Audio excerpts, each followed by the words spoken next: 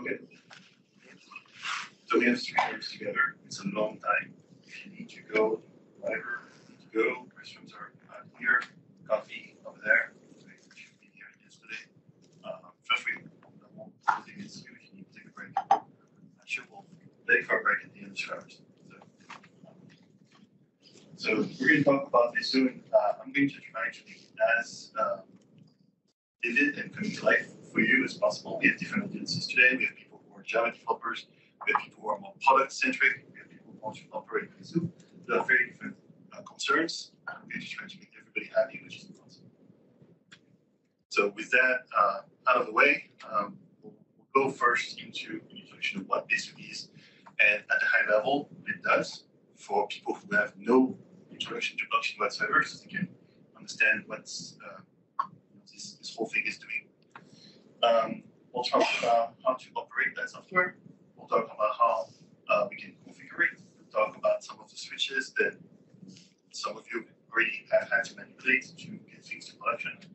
Um, and then we'll go into code. So we'll go into code, we'll go into structure of the code, we'll go into how to extend the code. Um, and I'll show you a couple of ways where code can be meaningfully uh, changed to allow for new possibilities.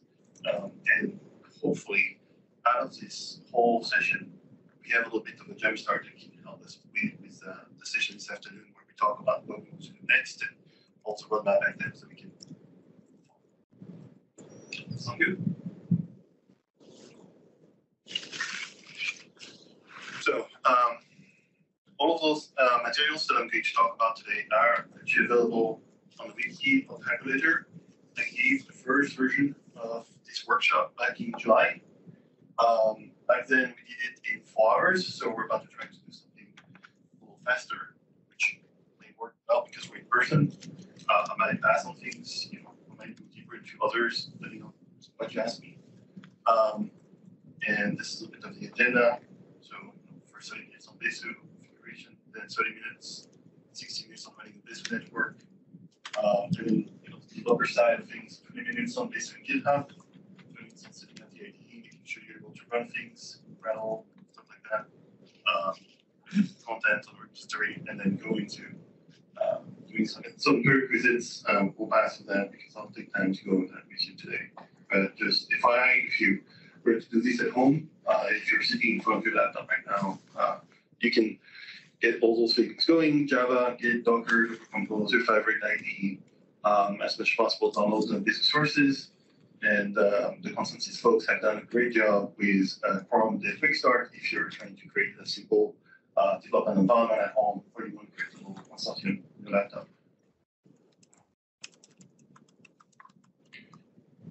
Okay, that's next. Okay. So uh, my name is Antoine. I work at Splunk. Uh, I'm a, actually the manager. So really shouldn't take any advice from me from a development standpoint. Um, before working at Splunk, I worked at ConsenSys in the past life, where I helped with Pantheon, but also helped with Orion, Quorum, a few other things. Um, and uh, I've been uh, in open source since 20, I'm dating myself 2006. Uh, first Eclipse, I'm an Apache Software Foundation member. Um, I am now involved in the Open Telemetry project, where I am the one of the approvers for the uh, collector uh, project, collector contrib.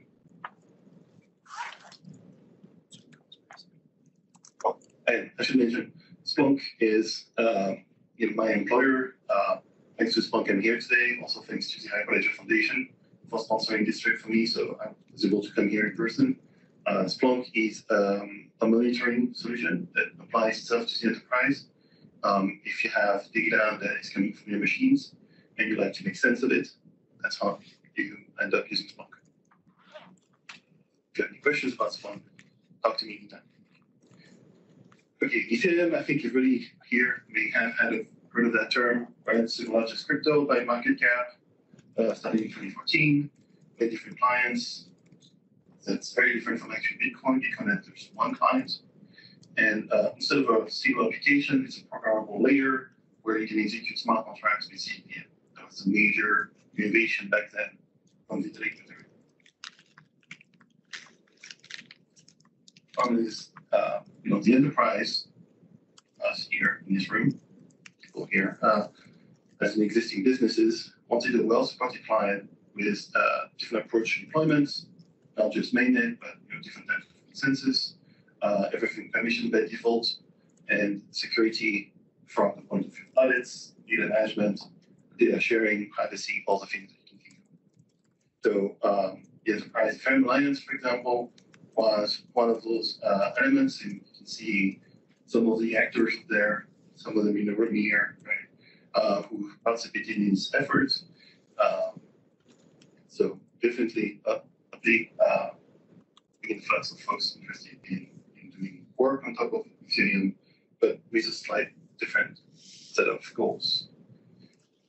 So first thing was Quorum. If you haven't heard of it, it's a fork of Geth, which is a very popular uh, Go um, client for, for Ethereum.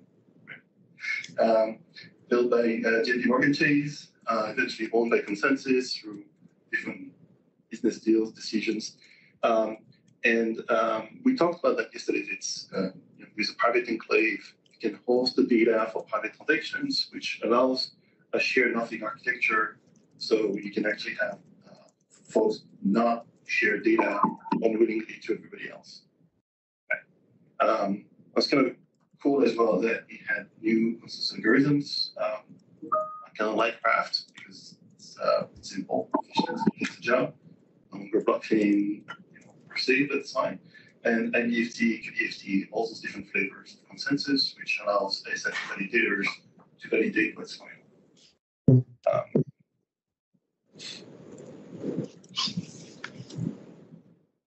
and then uh, out of uh, Pantheon became uh, Besu in 2019 as a contribution from consensus. Anything like that, we'll, uh, we'll just keep going. Okay, so we're still in the introduction pleasantries at stage.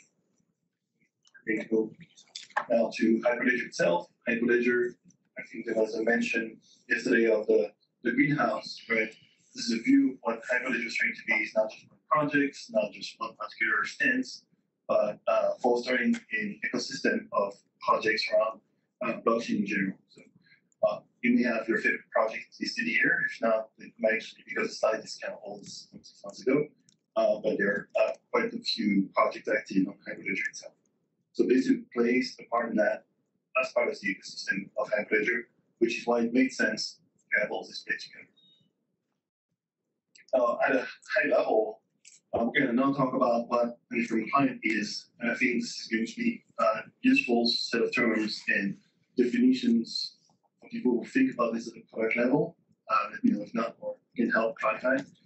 Um, so first off, when we talk about an Ethereum client, it's a complete misnomer uh, because it's actually a peer-to-peer agent in the server in the first place, right? This is serving data very HTTP. Um, it one thing that is true to every Ethereum client so far, except maybe Erigon, which is starting to get better, is it runs a single process on your machine. The idea at first when they started Ethereum was it should run on your laptop. Burn your laptop. Um, it's independent, meaning that uh, because it's on the blockchain, does not trust anyone. So you can perform all exchanges, submit transactions, you can get the chain all from one piece of software. These are the functional requirements of the clients. This is some of the foundation of why the client is built the way it is. I'm going to go into that in a second. So um, Hyperledger basically is a complex software stack, and this is just a diagram of all the ports that it opens. Some of those ports you'll never have to use them, thankfully. Uh, but these are holes and network interfaces you can have. The um, most famous one, of course, is uh, the RLPx tier, where connect to other agents over 30303. Um, if you were to connect to your Besu node to get RPC in and out, you can connect over HTTP at 8545 or WebSocket 8546. And uh, known, um, you can also use Besu to mine by connecting over a persistent TCP connection over Stratum protocols over port 8008 and uh, Besu has an Ethernet module you can connect out to an Ethernet server of the WebSockets. So you can send data um, to an EthStat server uh, if you're so An EthStat server itself is just a, a web front end that you can see where you can see what's happening uh, using consulting. Um, so another thing to note is that Besu is the database. So going down a little bit the stack in terms of complexity, um, we mentioned yesterday that it's using RocksDB storage. Um, has multiple store of RocksDB, not just one, but multiple. And here's why, right? So uh, we have all the blocks that have to be stored on disk. All the collections have to be stored on disk as well. Um, these are the actual collections. This is a tree of them to be um, cryptographically compliant and making sure that we have a root node that can satisfy the blocks. Um, and then we also have all the account states that are going to be stored on disk. So all this information has to be stored somewhere. These are different files, different stores. Um, so this by itself is complex. Actually multiple databases, multiple tables in the database. And basically, it's a transaction tool, so it's also able to sort uh, through um, a set of connections according to its best principles, using any gas price, amounts, all the sorts of algorithms we can think of to create a sequence out of out of sequence incoming uh, requests from different clients.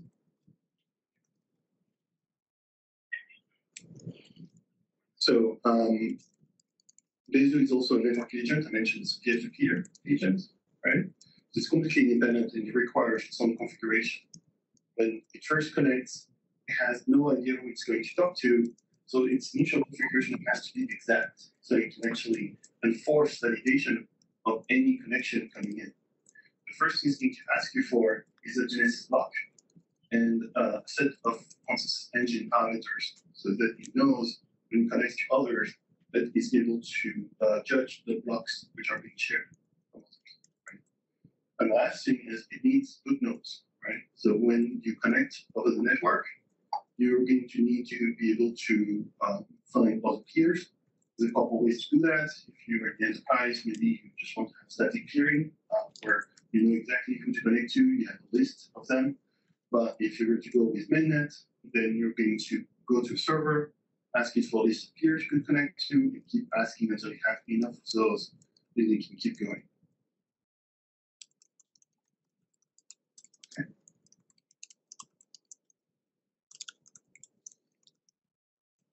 So to go deeper on that, the basic discovery mechanism is you connect over UDP. First, you connect your nodes, then you connect all the peers that it's passing on, so that you can start having a bit of a network effect. Um, you're using a, a Kademlia hash table to connect all of those. I'm not sure if that's that relevant for you because you're enterprise. Did you do discovery in that way? No, right? Okay, you do? Interesting. Oh, sorry, I was, that was a, I, I heard you and understood, but haven't done it. Okay, so just for your enjoyment, uh, if you were to use mainnet, this is the way that it used to be, right? You would connect blindly and just ping back and forth nodes until finally someone answer, and eventually you get a collection of those. You keep them really close to you. It used a hash table in there to have different buckets of those based on the keys of those nodes so that you would be able to share them with some of your peers, but not all of them at once. You have like uh, the notion of islands where different parts of the network don't talk to each other. Um, but that's now kind of old. Um, there's a new discovery mechanism using DNS, using uh, TXT records over DNS. Uh, is kind of script from the Foundation servers every two hours. You can actually see it on the internet, go to GitHub. They have a project where it goes to a huge table of all the nodes that are able to get to. Uh, and then they're being indexed. And um, using this TXT approach, you can uh, cryptographically securely get all the information, make sure it's valid, and then connect all of them. But the truth is, most of the time, because you're in the enterprise, you're going to go with static peering. Static peering is uh, the safest possible approach to things because you know exactly who you're going to talk to, and the URL of the other tier is going to look like this portable URL. So here, uh, this is what we call the enode URI, URL, URI, um, where first the 65 first characters, if I remember correctly, are um, the hexadecimal representation of your public key uncompressed. So that's a complete, you know, that's your identity as a node. This key is stored as part of the identity. Node on the first boot, it creates that identity and then it refers to it. It becomes its reputation, it becomes its ability to express itself on the network, right? You can also define those keys before you start the network, which is kind of important in consulting because you want to make sure you have that defined ahead of time. It's followed by a little path, as you can see, and then you have the host, the port, and you can define this as a disk port, discovery port, UDP port. It's going to be on uh, by default 30303, it could be on a different port. Okay. So of bastardized from, if you think about it, right? The main networks first started from these UDP messages, and eventually oh, we need static peering because we're testing, we're doing a bunch of things. They made those URIs available. The enterprise folks said, well, actually, this is this is what we want. We don't want all this stuff. It's way too complex. Let's just use the thing at the bottom here, right? But your little second class citizen compared to what the original intent was, right? So you're network clients. Welcome. You just join the, the network. You kind of have a, an inkling of who to connect to. You're going to now uh, find a peer. Found a peer, you're going to say hello, right? You say hello, and when you say hello to another node, you say, I happen to be on um, chain ID 1337. Um, I will talk the following uh, types of subprotocols. If I can talk Whisper, I can talk uh, as some set of messages. Um, you may also create your own, which is a lot of fun, right? And other nodes need to reply and say, great, uh, I only talk if. And um, I just discovered we don't have the same chain ID, so I'm going to select right here. So you've done all this work there, find them, you connect to them, and tell you, actually, we're not on the same chain. So that's a that's a known uh, behavior for the, for the agent. And so uh, you've seen a little bit of the elements of software. If you look at this from the point of view of life cycle, when you first start your basic line, the first thing it's going to do is look at its Genesis block, find if it's got any data and stored locally, um, get new blocks from peers using the connections you have, you have.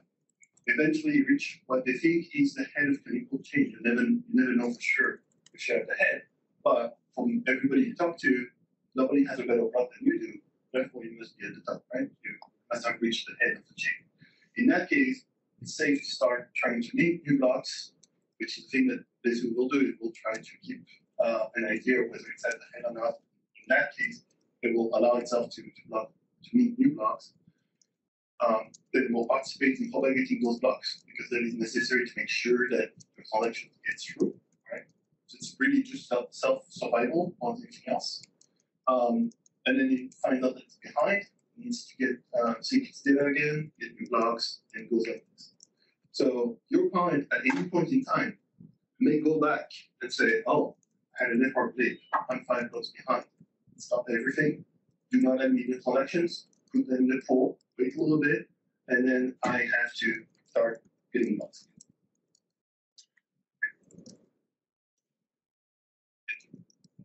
When it's stop, did you say stop committing transactions or stop? So usually what it does, it will continue taking collections, the transaction pool will continue to, to flow. And um, it will also have a mechanism on the side, which I won't mention uh, in this diagram, in this diagram is that you will also gossip all transactions being sent to you to other clients to maximize the opportunity for other clients to send the transaction to the box.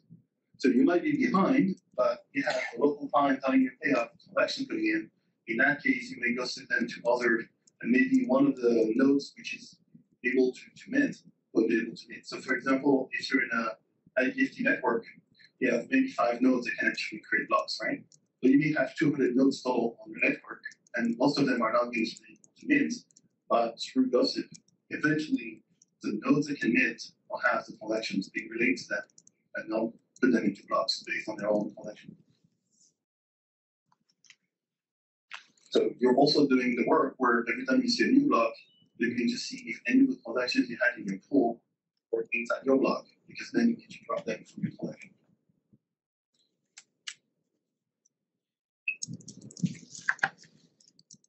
Okay, that's requirements. This is running twenty-four seven at all times, trying to catch up, when you got up, trying to set data. That's all it does, right?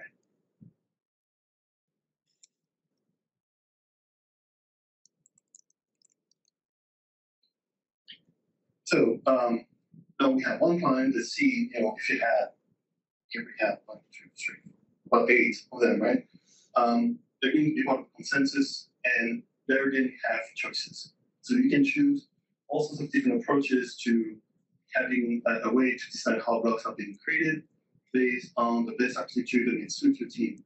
So for example, by default, if you were to use mainnet, you would be using proof of work, which is that everybody's competing with everybody. You're constantly doing a little bit of math on the side, trying to find the equation that's going to allow you to create a block with a lower difficulty than a certain threshold, which is based on uh, what you'd like to see from the network.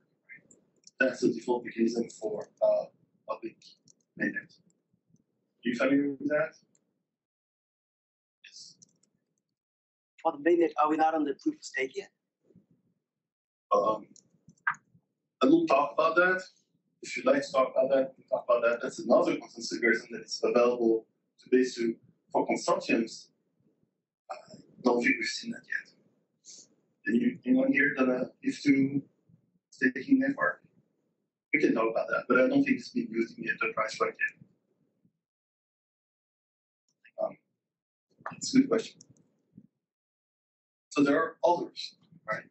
Uh, the Geth uh, developers, when they started doing development on Geth, they had a need to do a little bit of toy uh, consensus mechanism that will allow them to also do tests. Proof of work is expensive.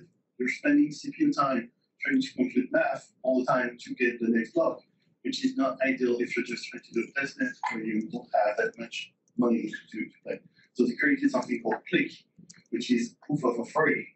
What you do is you play inside your Genesis block who's going to be allowed to meet the blocks, right? And then you're going to allow transitions later during the life cycle of your blockchain to say, hey, I have a new signer. It's going to be the, the new authority is going to be allowed to mint blocks going forward. So you can pass on the baton that you nodes, for example. Now, uh, if you remember, so node ID of string is enode URI. That identity is what is going to define who is able to mint, which is a big deal. At BFT, different mechanism. Now you have a number of nodes that can validate the take turns, and some of them are going to be proposing blocks, some of them are going to be blocks. Okay. And that's a subset of the total. And then, yeah, so proof of stake is when we delegate altogether all the actual consensus layer, so the decisions of whether to include a block not, into a different set of machines, which run based on staking, which is based on how much uh, money uh, is at stake to guarantee a block is valid. So the point for consortium is that if you do staking, then it needs to make sense, which probably requires a few lawyers in the room to make sure that the state has an actual real incentive in the real world. Okay. There's one more thing that uh, this does. It's an actual server. So it's an RPC server. If you use Truffle, any of the tools you know, that allow you to interface with clients. Most of the communication is done over the port 8545 I showed earlier, and most of the uh, interaction there seems to be uh, around calling or sending collections. Right? Calling meaning getting data out of the chain, or sending collections, which is submitting collections. I think that not known is that there are multiple ways to do that. You can do it over HTTP. When you do can actually batch the request, which is very useful in terms of performance. Um, you can use it uh, with MetaMask, with the wallets. That's it's done. You can also use WebSocket, which is great for different set of use cases around uh, subscriptions. So you can ask to get notified in real time whenever the client sees a particular set of transactions coming in, right? So to be able to react to that. Um, extremely expensive too, in terms of CPU. Don't do that if you're doing this on the open web. Don't, don't open your WebSocket to. Uh, really, really sorry. um, IPC, which is just a file socket on your, uh, your server. Uh, that's great if you want it secure. By default, yes, going to go and default to that. It will allow you to still connect to your to your servers and do all sorts of JSON RPC, but you're no longer exposing HTTP port on your, your server, which is probably ideal from a security standpoint. Uh, that was just added to April 2022. So that was a contribution from um,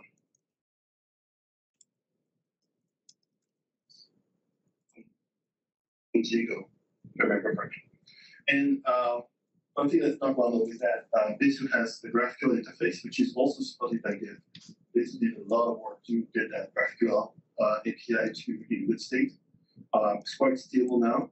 What it allows you to do is to go deeper in what you ask. So what I've seen GraphQL used for is by people who want to scalp the competition or go deeper into how to go for storage slots, for example, or understand the innards of what is being stored on disk, because you can make very precise queries using this approach. Um, this useful, automated for traders, for people who have you know quarter seconds to reply to things, to instead of asking uh, over HTTP using an if call, small contract, what where things are at, what's the value of your storage slot, how you know how to execute something through CDN bypass all this, go to GraphQL, ask the database what's in storage slot, you know, 00x, uh, 0x001 of this contract, and get the value out in 32 bytes, uh, denominated so you can actually go faster. That made no sense. It's okay. I'll explain. It's okay. They It have, made no sense. I want to know if you can understand, right? Too. does the GraphQL uh, API do streaming as well? Is it all streaming? Um, I think it's HTTP only, but I might be wrong. I think it's on HTTP. So in recap, uh, we have of the client being a database, uh, peer-to-peer agent, an API server, and a queue. This thing does way too much.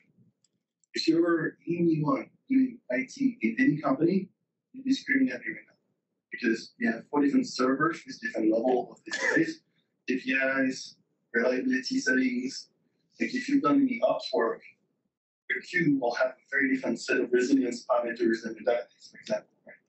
So it's good to know that going into this, you're gonna have to put together, and when you operate this in pod, you're have to put together all requirements from four different systems and think about them as one. So now you have a lot more constraints on how you run this uh, piece.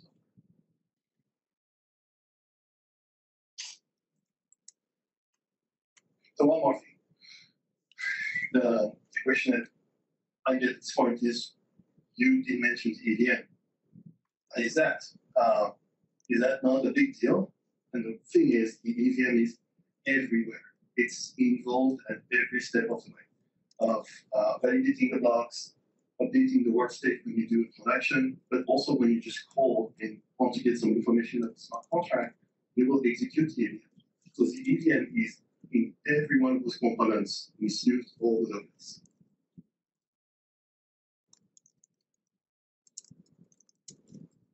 And EVM here stands for Ethereum, uh, Virtual Machine.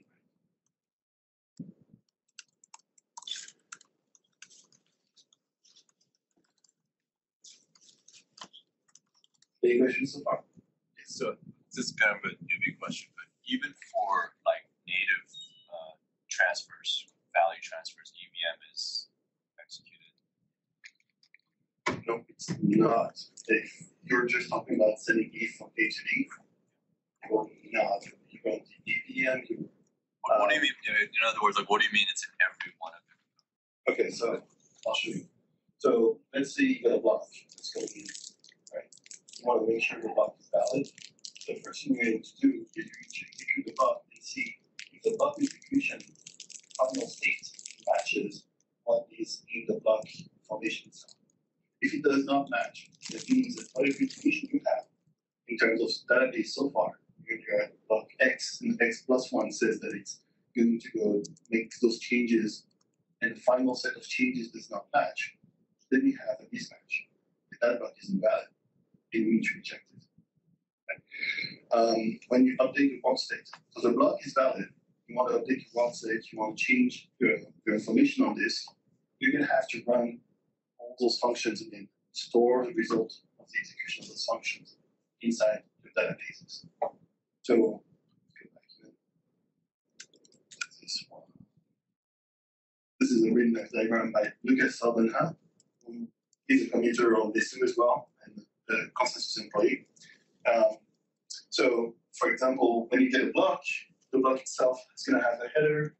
The header is going to have a number of information which is cryptographically important because it shows the state of the blockchain at the time of the block being generated. So, for example, they show the state, um, the state itself as a database, which represents the world state, which represents all the storage, all the accounts, and all the uh, storage entries. So let's say I have my own personal money, right? I'm gonna have my balance here. I'm gonna have my current balance, which is the number of times I executed on my account. And I'm going to have a number of entries which I cryptographically verify with a 32 byte hash. It's my storage root on my account. That is then rolled up inside the world state trie, which is itself also rolled up into a 32 byte hash using uh, a Merkle Patricia root tree so that I can actually verify that everything here is valid at the end of execution. So if I have any difference between the moment I when I execute that uh, block and all its transactions, which are going to be like here, right, in that body, I'm going to be able to say for sure that the statement does not match the result of the execution, this block is invalid. This is how we cryptographically verify that everything makes sense. Right? Does that make sense? Yeah. Okay. Um, that goes for so when you execute all those transactions, then you're gonna have all the receipts of the execution of those transactions. You also calculate all that down to 32 byte hash again, so that you can make sure that the execution of that block, even though you got the right state at the end, that the receipts also match, so that they're not being fooled somehow by how these transactions are being executed. So that's where the EVM comes. Yes. And so I guess as a follow-up to make sure I understand, if in the block, one of the transactions is a native token uh, transfer without the smart contract, then is Yeah, you you don't apply the EVM because you're just doing a, a balance change. And then you have a nonce update because you're changing the nonce of the sender. Uh, you will also have a gas cost of twenty-one thousand gas by default whenever you execute any transactions. So you're, yeah, you're doing a number of things anyway, uh, that will change the world state. So you still end up having to cryptographically verify everything. But the EVM is not playing a role in that sense. So it's all cheaper. The truth is, most of the time you don't send ETH because you, you, you're going to have a much better mileage of concat- concatenating and having a number of cascading changes through all the contracts you call um, for a transaction.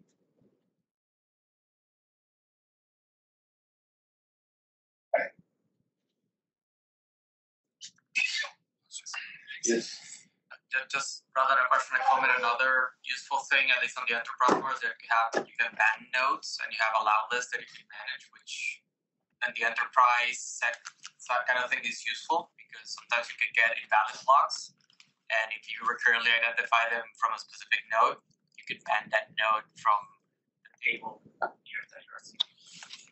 enterprise side of the world is a useful feature.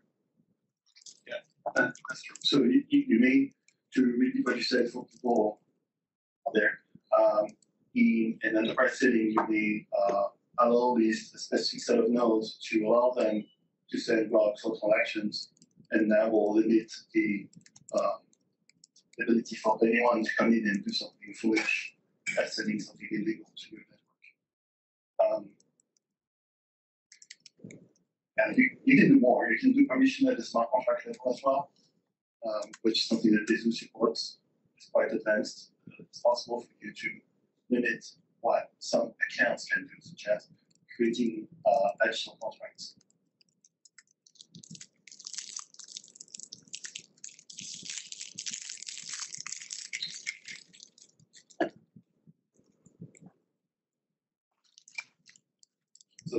So that's probably a lot. The questions on the product. I'm gonna go configuring, which is, you know, really the most interesting part. We're gonna talk about code, but if you don't run this thing, I'm not be good. So, um, Hyperledger Besu got a lot of thought into how to run the best possible way. Um, there was actually, for longest time, someone on the team whose job was to just make sure we had the right options and the right consumer user the API so people can configure things without you know, breaking leg or uh, being in a, in a bad state. Um, and so the way it works is that it has the ability to set command line arguments. Those same command arguments, little bit modified, can be also set as environment variables, or it can use a configuration file. And it's in that order, meaning that you can have a config file and then you can decide to override it with an environment variable, then you can override the environment variable with a command uh, with a CLI. To make it uh, easier on the eye, they're trying to, as much as possible, make sure that those the keys in config files are going to match the command line arguments, are going to match the environment variables with some transformations that I outline here. So the environment variable by default is going to be uppercase.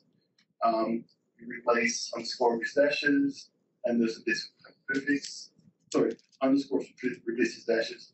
So for example, uh, dash dash minor dash coinbase need to become besu underscore minor underscore coinbase. That's important because once you know that, you know, configuration becomes less arcane to work around.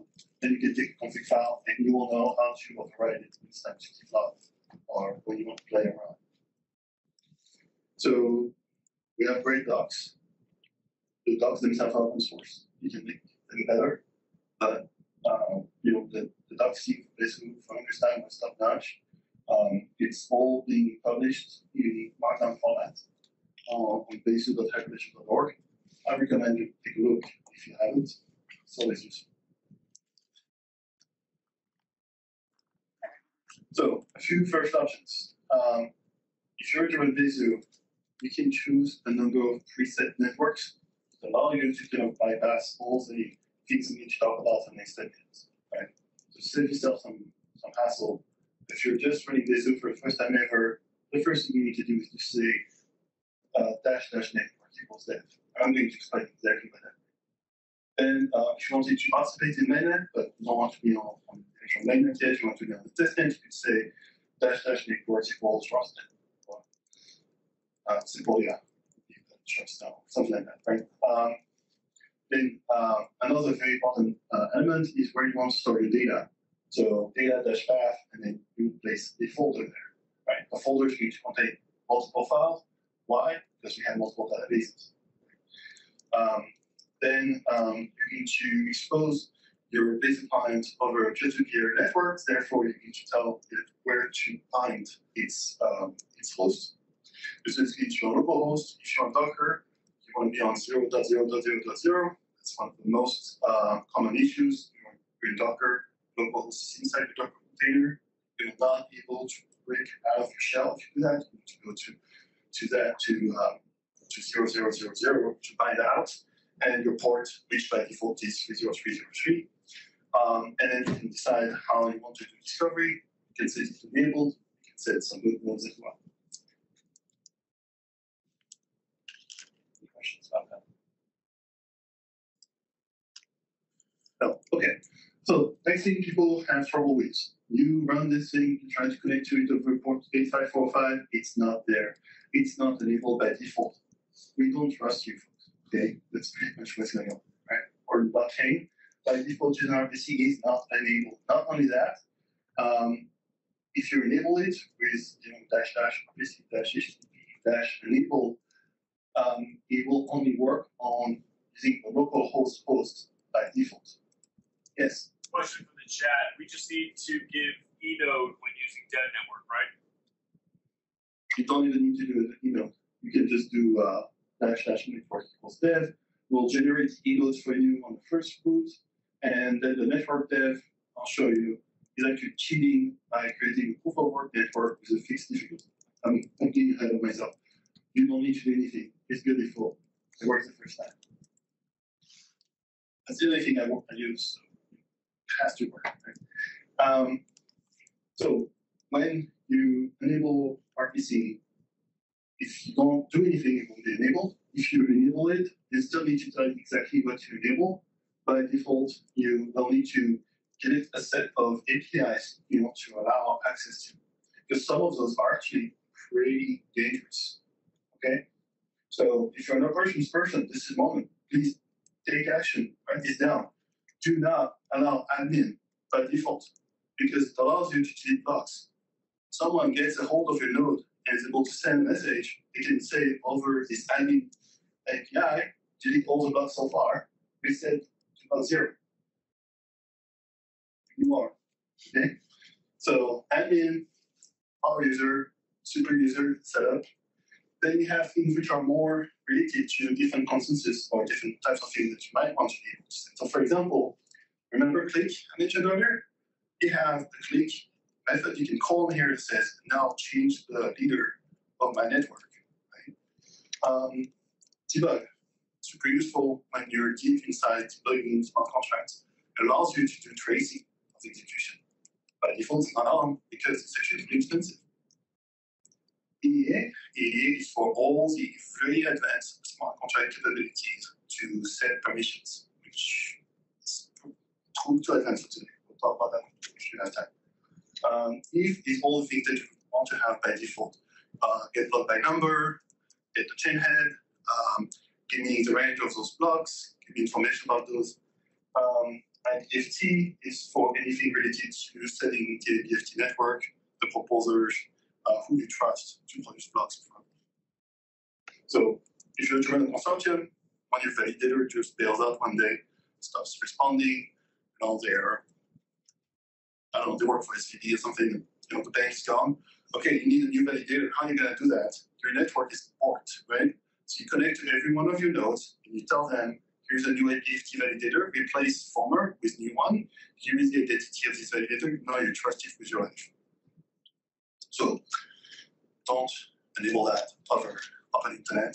You will have disastrous consequences, of course. Um, miner, so anything related to mining, such as setting your, um, you can set all sorts of things related to, to proof of work, which I think is interesting for you all. Um, and then we have more things around like plugins and things which are more um, specific to Besu, QBFTs, and be mirror what you can do with IBFT in terms of setups.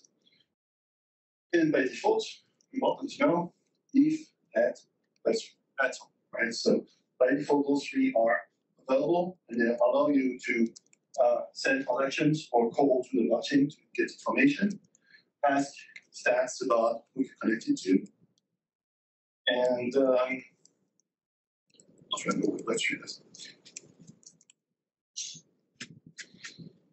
Any questions about those? These are not taking the time to go through this, the directories, these are not at all from Besu, these are just an RPC from GIM at large. And so you can see the spec at the bottom down there goes down to the Ethereum EF link. Right. So um, as an enterprise user, you may sometimes have default or elements which are related to mainnet being enabled by default or available to you, which might not make that much sense for you in the enterprise.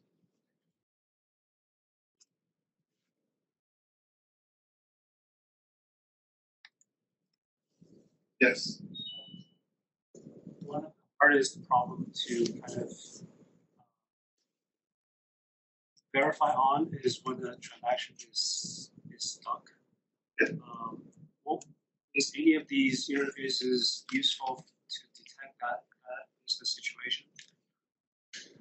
Yes. You can talk about it. Thank you.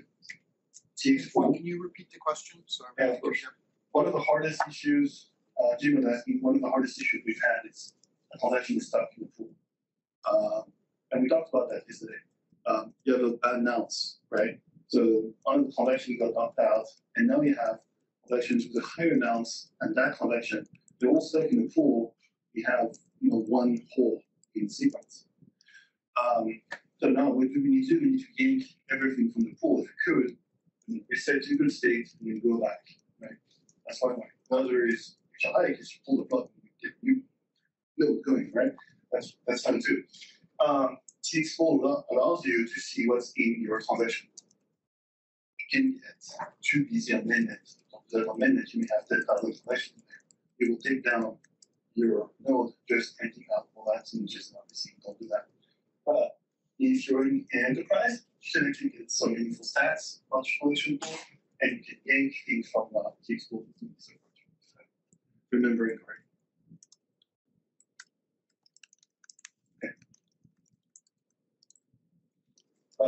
And by the way, if you want to actually do transactions at a high rate, there's a product out there called Firefly. That will do that for you.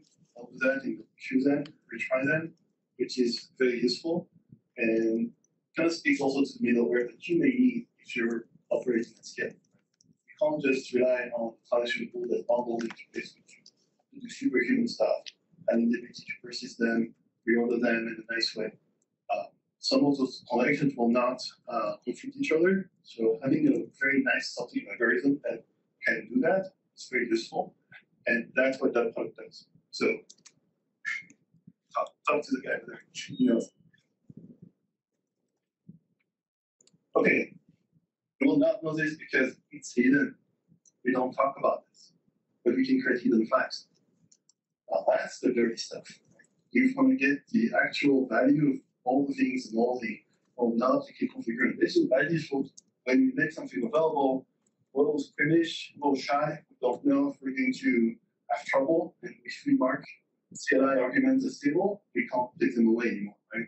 So by default, when we introduce something, the first thing we'll do is as much as possible make them hidden. So if you want to fine tune and go deep, this by default is what you need to be able to tap into. Um, so to actually see them, you do of help, backslash capital X help gives you all the hidden facts available to you. And these are, as you can see, unstable options here. Um, so for example, you can configure how many headers you would like to get from the chain when you ask for headers. By default, we ask uh, 192, meaning I come to you as a peer and say, I don't know where I am on the chain. I think I might block 312. I'd like to get 192 mixed headers. But maybe you're in the enterprise, maybe you want to get faster. Maybe you know you have uh, fiber optics between the machines, right? Maybe you get you can ask for 10,000 of them. That might help, might just congest your network, which is why keep them hidden because we don't know what good value is. But we'd like people to try and tell us what to what to set in there.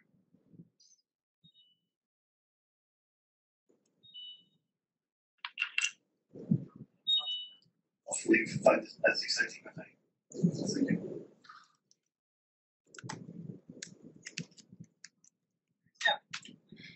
Okay, so how do you run Besu?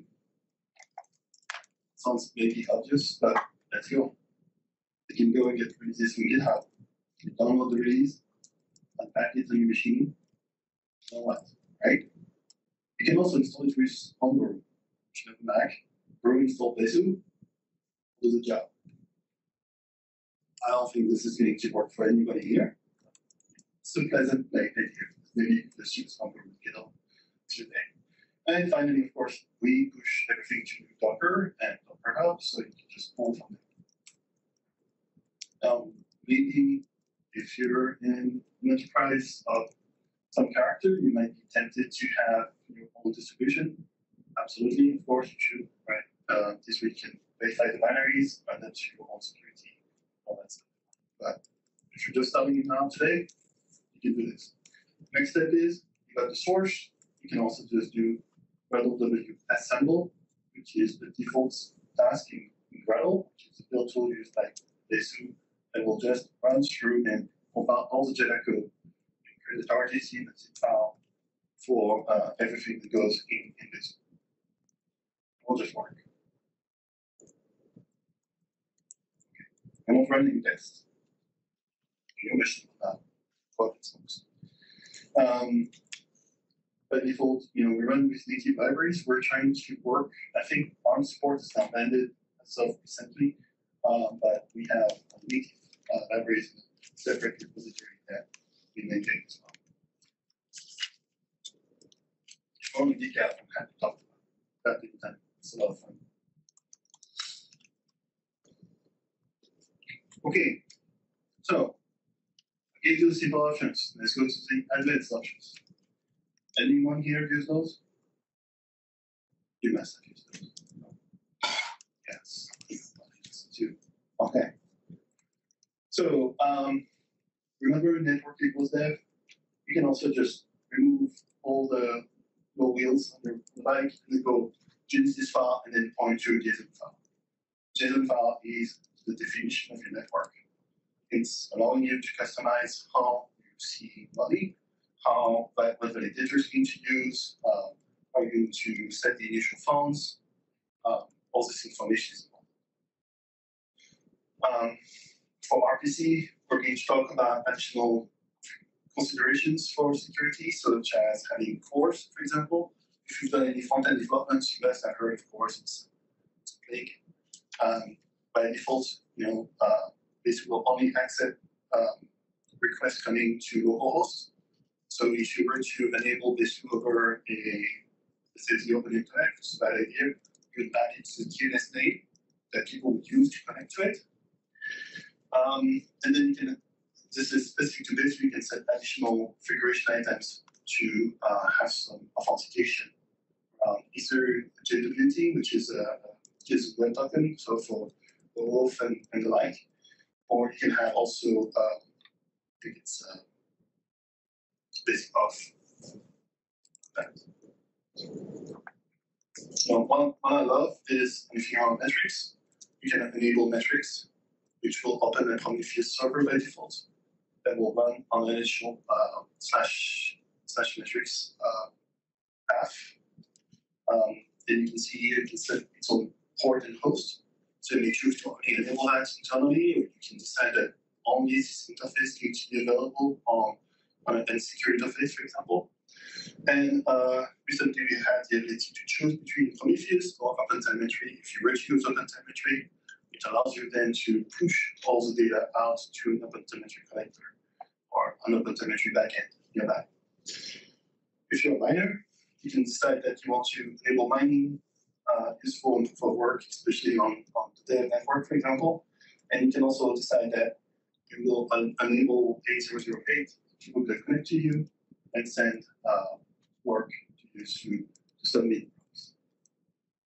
In that case, Coinbase is necessary. The Coinbase is the account that gets money every time you make a block.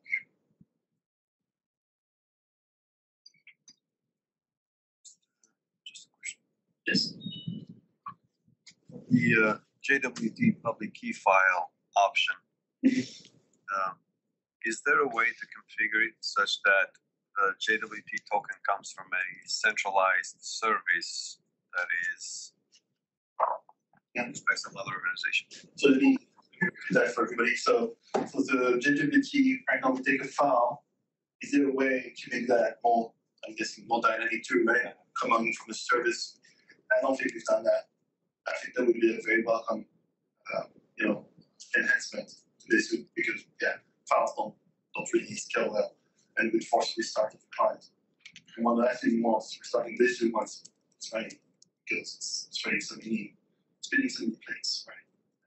So, no, no, I don't think it's supported this time. Yes.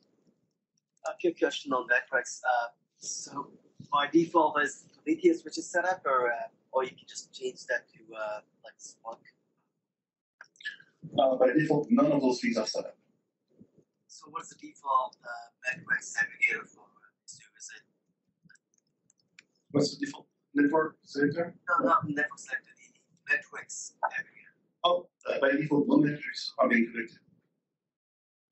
So, you know, if you want to go bare metal, full throttle, not connecting metrics because you're confused, you think maybe it's going to take a um, 1%, 2% of CPU, you decided that you're going to, you know, burn this thing down, than total enable metrics, right? It's you more, but not that much. Overhead should be. Yes. One more question. Um, for authentication credentials file, I wonder if um, it's worth having an option, similar option, but instead of getting the credentials from a file, get them from a vault somewhere using MPLS connection. So the, the, the question here is about having credentials file again goes to a file and you should be using Vault or service to run all that. Um, yes, I agree. Um, completely, I we've had to do that with Kubernetes, for example, the collector. Um, different project, but I agree with you. That's the next step is that you want to have rotation of the token, right? For example, being taken care of, that. We don't we don't have that. So I think that one. I don't think we watched the file. Um, so this is worth uh, into, doesn't minutes.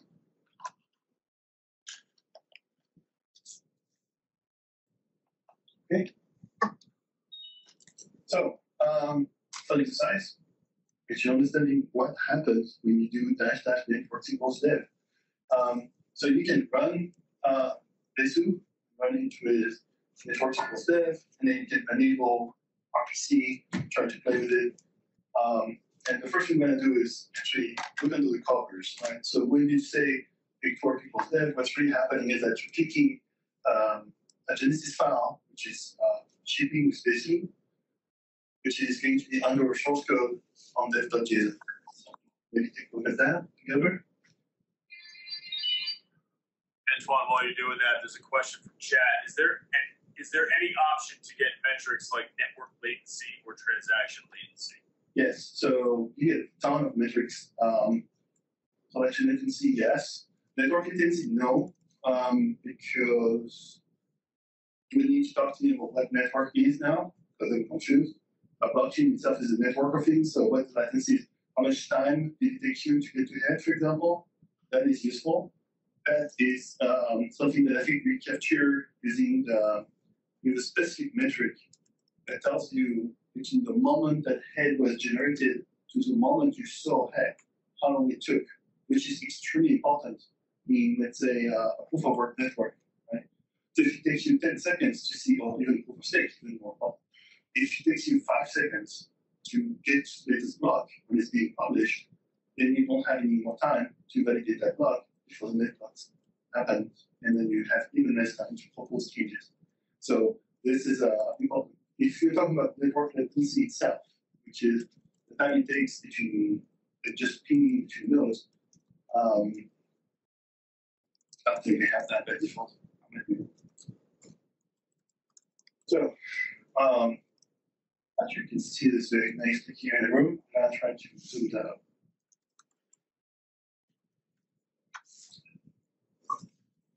So,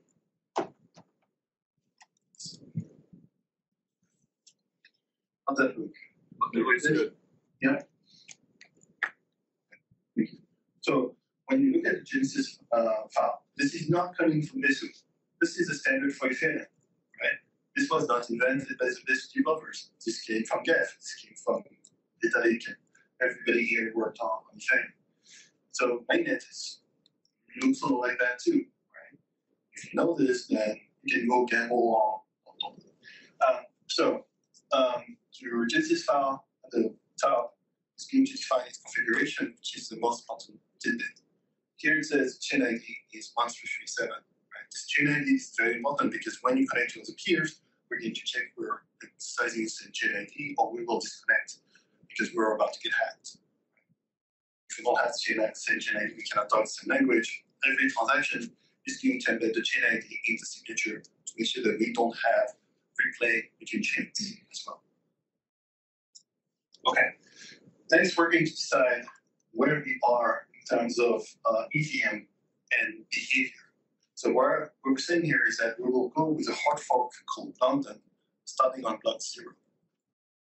That may sound weird. We can show you an example with mainnet. Mainnet said, you know, was block zero, then they made some changes, about uh, 3 million they changed, then again and again and again. because you started fresh with a dev network, you can go with the latest hard fork and saying that starts block zero. So if you to create your own network in consortium, you will have to make that choice too. You will decide, okay, I'm running with this version of EVM with its capabilities and functionalities, and it will be starting at this block. Right? If you were to change later, your consortium would need to agree that you're about to change hard fork over to a new version of the EVM or a new version of the of the Ethereum network specification. And you would change your Genesis block to tell it, hey, uh, this new hard fork at block 5 million. Everybody's going to synchronize and change over to this new definition, which will change the rules by which we validate blocks. So if you have one straggler who does not have the right configuration file, your host, he cannot talk to you anymore. They'll look at your blocks and say, I don't understand what you're saying. Your validation does not match what I have. Therefore, I will stop accepting blocks from you. That happens, right? We've had those issues over and over every time. Every time we have a hard fork, we have about a third of the clients that would just disappear, right? We're no longer able to keep up with head amendment. And eventually come back because people realize, oh, my client's behind. What's going on? New blocks. Well, you need to change and get a new version of Geth, which comes with a new definition, or you need to change your JSON file by hand to make it match. So if you're operating a network, this file is very important to you. Let's continue. You have you're enterprise. You like you like code, right? You need to have contract size limit that may be custom. It may be longer. By default on mainnet, they try to keep the contract small because they don't want to overwhelm right? They don't want to overwhelm the storage. Your enterprise, you're never going to get to the level of complexity you have to deal with, so might as well allow you to have longer contracts on this. Um, this is specific to this uh, network. We're now talking about how it's going to do consensus. And we're picking the if hash proof of work consensus. But look, we got a on it. We're saying that the fixed difficulty is 100. Meaning, frankly, it's pretty easy to post a bug, right? Usually the difficulty is uh, yeah, it's usually much, much, much, much higher. So now we go into the actual first bug. Yes, Sean. Two questions from Chad. First of all, what do you think about using Web3j to connect with Besu? Sure. Sure. Second question, what is the highest transaction throughput registered with Besu? Which consensus which consensus algorithm was used? Some people have said that, you know, Can you repeat the question? of course. First question was, um, can you use Web3j with Besu? What do I think about that? It's a great tool. It gets the job done. Please use it. Yesterday we had a great presentation by someone who showed us how to use Web3j for unit testing, which is really cool. You should use that. All tests are better. Uh, if anyone is not going to a great test, please test your stuff. You'll, have a much better time than I would. Um, so make sure you use that. Um, second question was, What is the highest transaction throughput registered with Besu? Which consensus algorithm was used? so what is the highest transaction throughput with Besu? Which, which consideration was used? And I think we've seen practical term. Um, so first of all, like um, besides experiences in Scrum, I've heard of people being able to get throughput throughput with QBFT, um, something like uh, 1,200 transactions, but they were doing native, not EVM. They were not doing. Uh, they were just sending money to, to each other, right? Um, and that was a very constrained environment. Uh, Reality seems to be around 100 TPS from what I heard, right? Um, yeah, 0.21. Um, so um, these these numbers, um, what we have right now. Say one thing. I think collection throughput is actually a bit of a misnomer, and we can find ways to uh, batch transactions or play two transactions to do a number of very interesting things that allow us to do things. The thing that I would look at in, in for mainnet, for example, this use case has been much more pervasive is it's not so much sending data, how do I get data back in the blockchain? How do I batch my calls to get more data back faster has been a bigger problem.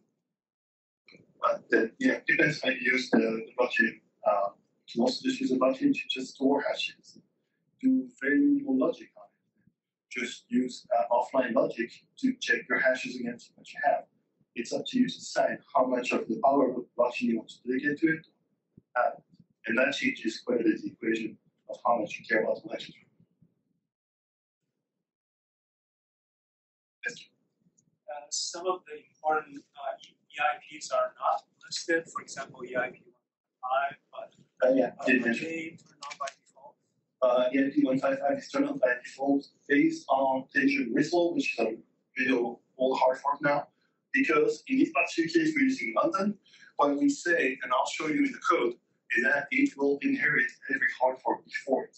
So all five five, all the things from before were there by default. True for any any hard fork. That's true. Yes. The way the way they set up right now is cumulative, meaning you inherit all the changes that were made before. Um, it cannot make sense, right? It's really difficult to get some changes that happen much later without changes that were happening from EIP one five five, for example. They're kind of really build on, on top of each other. They're all enabled at the same uh, block height. Yeah, so they will the, the, the block here tells basically to change the whole validation engine it has to move to this new way of validating blocks, submitting transactions, even just not equals will change based on what the, the block is. Yes. You talk about batching cross sections. Uh, you Yes. don't- You're not referring to like L2 here, right? Batching collection we talk about sorry. You're not referring to L2 here, like layer 2. Like you're not No, talking no, no, no, no, no, no, just very simple. If you were to make a call, um, there's there's a neat trick you can use, for example, is that you can create a contract that does things for you, right? So one thing you can do is you can have a contract with five things for you. And in that case, it's one collection, the collection itself becomes humongous because you make it do multiple things, right? And so if you're looking at the collection throughput at a high level, and the collection is just, let's say, calling simple storage to set and get values. Sure, you're gonna have a raw value of what collection throughput. Really, what you're exercising at that point is the whole stack of Basin, from EVM up to storage and all that. Another place you can play is you can create a, number of contracts that call each other. And then you can do a number of things in those contracts that cascade to each other so that you don't have to do as many collections, but a single collection can change 12 things. It's up to you to decide that. But your collection throughput becomes meaningless if you can approach it using this approach because it's not the number of collections uh, that will matter as much as the number of times you do SO, like uh, like was mentioned yesterday, right? So the number of times you go from this is is really what should be your your uh, idea of performance, if possible. So I guess it comes down to uh, like the, the, comp- the computation unit. Like how we can Yes, define The computation. unit at the level of the EVM in its opcodes is what is going to define the performance. And I find that TPS are um, meaningful, but they're not as um, deep as if you're able to understand the impact on disk of what your transaction is. Yes. From the chat, could you explain the best way to manage a private Besu network where the set of known participants changes constantly? Okay, so you have a from the chat, you have a public consortium, and you have members coming in and going. So now you have a big problem because it depends a little bit on how you set up. If those private participants participate in consensus, you find yourself in a situation where you don't have voting nodes that can participate in consensus. That's a big problem. You cannot have that. Your network is supposed to, you know, get lots every five seconds out. You cannot play with that. If they're just RPC nodes, and they're just being allo listed inside your network. Then you need to find a source of truth that allows them to participate and for every other node to know that they exist as they can allow them to connect and peer, which is not solved either. Right? So for example, I think it was Adher Adhara which used the uh, whisper-based protocol to allow out of band messages being sent to all the peers in the network. They had about 300 peers at the time, all banking institutions. And then you whisper to all of them know, hey, a new member joined the network. Here is their identity. Let them in. If they were trying to connect to you, please let them in. Let them connect to you because they're good. Uh, I haven't seen any uh, standard-based solution that does that very well. Except that. So yeah, membership management, opinion, is not solved. There are solutions out there. Some providers like Kaleido would have built uh, middleware to allow you to do that in some level of automated fashion. If you were to build this and you were to have a dynamic set process, you're going to have to think about that. And I think it's not solved. It's custom to depending on your use case. I guess, and I'll just add to that, um, we just rely on the static nodes, uh, to, to manage that, because we have a way to distribute that to all the nodes. And it gets picked up by the nodes right away. Okay. Um, of course, that's just on the permission P2P layer. You still have to manage the, the validators to make sure they're properly voted in and out. So, yeah, it gets pretty complex. So, and for everybody out there, so Kaleido is using the static files node, uh, static nodes file to represent the state of the membership. And you distribute that to all the nodes in the consortium and you update that file and it gets flashed. And then we pick up the changes transparently in basically Geth and guessing as well for GoQuorum. So it's able to pick up. Here's my answer. Just change the text file. Yes? I'm good. Good. Alright.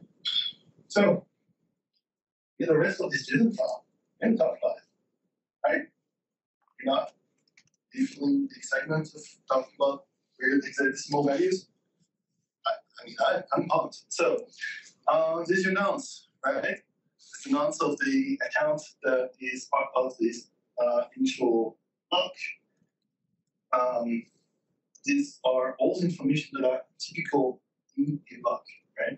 So gas limit of your block, the extra data is a 32 bytes free entering that you can enter whatever you want. So some miners, for example, whenever they get a chance to mine a block, they put some extra data and say, mine by this tool, right? Kind of a vanity thing.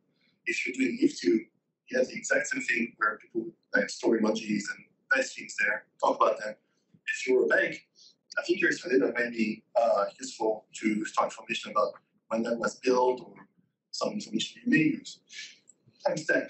Timestamp of your block, number of seconds since epoch is nice.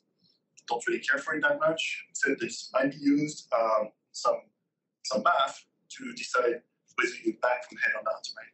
So it's useful as a kind of heuristic. Difficulty. Difficulty of your block based on of work. It's not used in most consensus algorithm, but you're gonna have it anyway because it's the hashed the block header. The mix hash. Mix hash is used as part of proof of work. The mix hash is um, a subset of what is stored in the header, except for the signature of the block. Allows you using the nonce and uh, the signature to verify that the block is valid very quickly if you read to do proof of work. As you can see, this mix hash is zeros it's your JSON block, you don't care. People are gonna have to trust it. Um, if you were to do anything on the enterprise, please let BFT to BFT, mix hash not used. Coinbase, who is getting the money for this block? Well, it's zeros, right?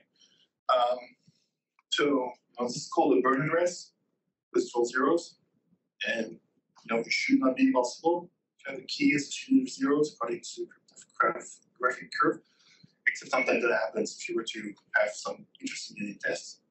So for now, money of these go to zeros. Now, the interesting part is the alloc part down there. That's the initial funds. If you were to miss that, what do you think would happen to your network when you're running? Nobody would have any money. No one can send any transactions or do anything on this network. You can't create ETH out of thin air, right? So this is the initial allocations of the private key. So here's the pub key is used as a key in JSON, right? Uh, actually, it's the address, so it's the hash of the pub key in the first 20 bytes, sorry. So it's represented in hexadecimal here. The private key here should never have that in an actual real JSON, right? You would never put your private key anywhere, right? But we're playing, so I'm gonna put that here. Um, as you know, little comment here says don't use private key in a real Genesis uh, file. And then the balance. The balance here in the hexadecimal format in wei, right? So ten power of eighteen, something like that. I think it's about eight decimals or something. And then it goes on, right? So we have few accounts with money in them. If you were to run um, on yourself, um, with network post dev, enable RPC, HTTP enabled, then you would be able to connect to any one of those accounts, import them into a MetaMask, start playing, send money to each other, do the contract deployment, stuff. Make sense? Okay.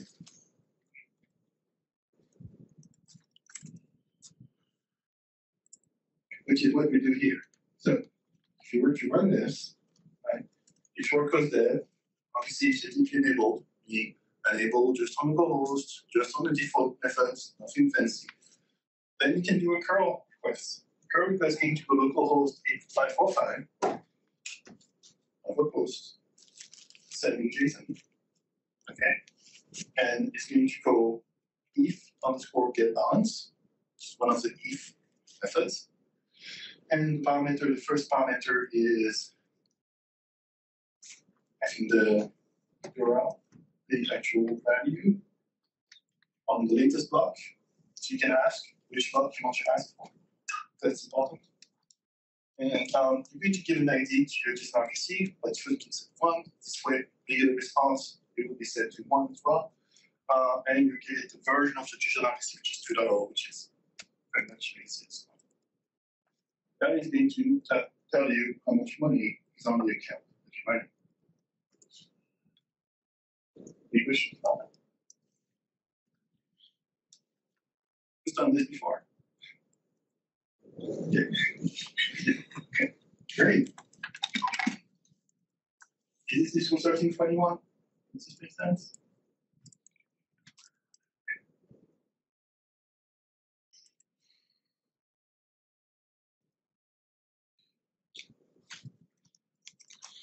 Okay, so let's take it up a notch. This is going to be a challenge. It's always a challenge. We're going to take a Genesis song, we're going to create one for an IBFT network. Now we're going to big leagues.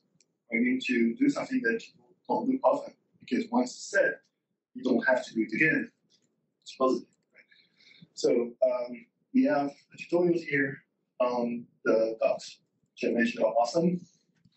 It's, it doesn't work for me, so I won't have to explain as much. To talk about what goes into an IBFT network definition.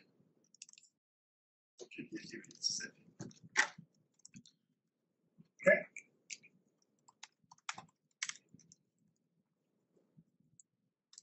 So, just to go over the dots themselves. Look at what they make you do. We're going to have four nodes on our network, so we want to ask you to create folders first. Those folders, node one, data, node two data, node three data, all. Why?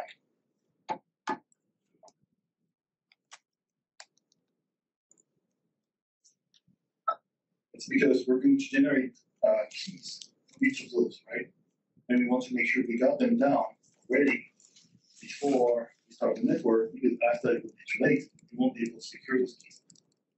But that means that when you start uh, consulting, you may have at one point in time all this information may be on one machine. If you were smarter than me, you would have done that on different uh, things, groups, different permission settings, so that the only thing you get to see is the public key of each of the nodes that are going to participate in instances. But for this particular exercise, you can do this your app. So the next step is we need to generate a Genesis file. It's really just like what we just built, except instead of Ethash, now we're doing 952. Note the change. Change here is meaningful in the sense that uh, we're sending things which are specific to the DFT. in Ethash, we, we need a fixed difficulty. Here, we're in control of how often we want to get the block out because we have loaders that are going to be based on number of seconds. So every two seconds, we're going to have a block. Um, the epoch length is how many times you rotate for the consensus, right? So you need to say every thirty thousand seconds, we need to change the different sequence. And then uh, we have request timeout every four seconds. If something goes wrong, be able to, to move on that. And that's everything else is the same, right? Still don't use the Mondays. Um, uh, notice that we don't have extra data anymore, which is done. And at the bottom we have this grid JSON says we're going to generate a file. Now, if you generate that file, it's incomplete because it's missing extra data. Uh, we're about to put it through um, the setup. It's going to take as input the incomplete JSON file, and it's going to generate all the, all things we want. So this is going to generate the complete JSON file and also generate private key and public key of each of the participants for our software. Keys themselves are a folder, where here the name of the folder is the address. Okay, then we have private key and public key. Then we can then copy the key files in the right place, and then we can start dispatching that to different members of the consortium to tell them to go run that with this information. Okay. Then we can run one, for example, we pass the right data path, we pick up the key file that we just generated. So uh, what's not explained here, that when you pass this ID key file, the JSON, one thing that it does, that it will generate the extra data property specifying the formats of validators. So in this moment, it generates four keys, then it hashes them together into an RLP format. The public, sorry, it takes the public key of each of those, puts them together in a list, encodes that in hexadecimal using RLP, which I'll, I'll ask we can talk about that, um, and puts that into the extra data of the initial block. Anyone using this Genesis configuration would be able to read that and tell, okay, if the next block comes from any one of those four keys, I know it's good. I know I can trust that. And it allows you to join, and then later on, you can have notification of those four orders. Cool. Yeah. I got a question from Chad. What is the roadmap for Besu now? When when could we expect to see those changes? Okay, so the roadmap for this, we're talking about this afternoon. I'm gonna have a long, long session on that. We're gonna talk about this. Um, the changes there, this is our stable documentation. We use that to get to today. It's used in production. Um, so if it works, I'm just trying to to you to specific gotchas of what happens when you up your consortium. I'm trying to also make sure I can go deep in the great stuff, but I'm trying to stay at a high level and enough if you want to get into the weeds of what actually happens. Yes. You could also have like the validators like deployed separately and then do the Sure. extra data, so you could also do that, right? Right. Yeah, if you were to do a really trusted set of ceremony, you would never have four private keys in one machine. That's bonkers, right? We're only doing this because we have right now, uh, you know, this, this development scenario. We're trying to create a consortium our machines. This tutorial ends with, hey, you're just going to run four times this on your machine. Machine starts smoking a little bit, eventually pulses blood. Uh, yeah, that's that's just for development. For natural production environment, what happens that each consulting member has been asked to generate on their own private key and only share the public key, always. The same thing that happens on mainnet is true for enterprise. You never share your private key ever. Build the end.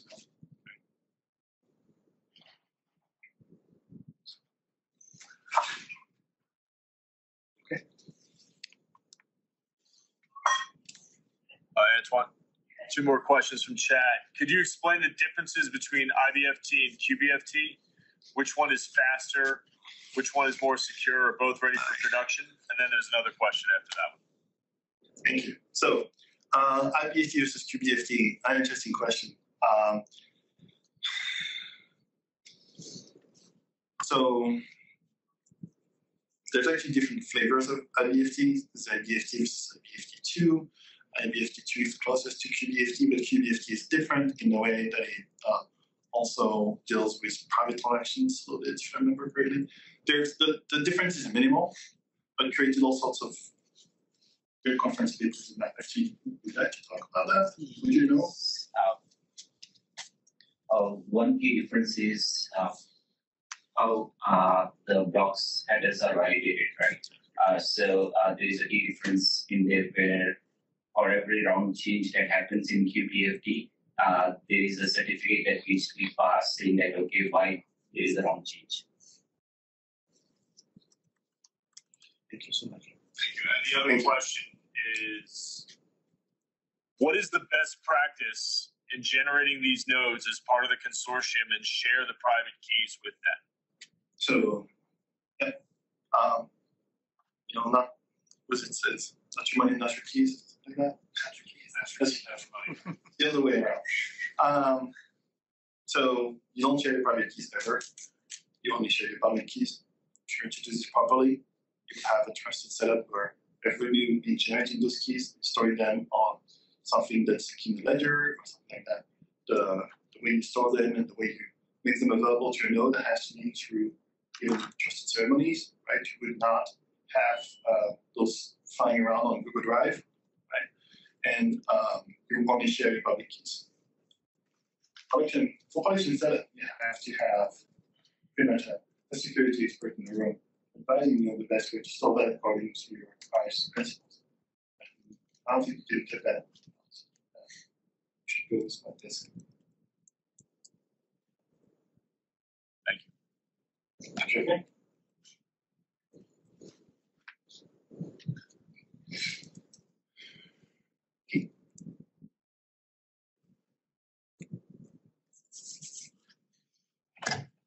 Okay, now shown you all the steps, shown you the dev, I've shown you how to by hand create your own IBFT network.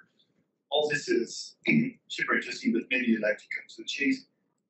You can do that today. You don't need to do much, you just need to type npx cron dev start on your laptop. If you have Node.js, we'll bring up this executable, go through npm, and we'll start asking you the right questions. It will ask you what you want to create, how many nodes, what type of nodes, you like to bring on top, and will generate on your machine right away, complete Docker compose, all the options of all the nodes you want. It will generate the keys for you, it will generate the Genesis file for you, everything comes out right away. So if you're a developer, and trying to you know, go through two hours of training, this is the one liner you can just use today. This is a ConsenSys product It works. Splunk has contributed a few things to it. So it has Splunk integration, for example. Stuff like that.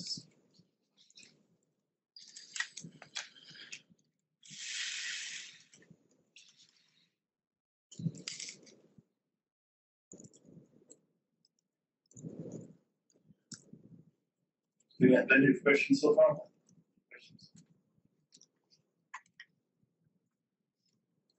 Do have a question that's maybe more relevant for Matt's session later about Besu documentation.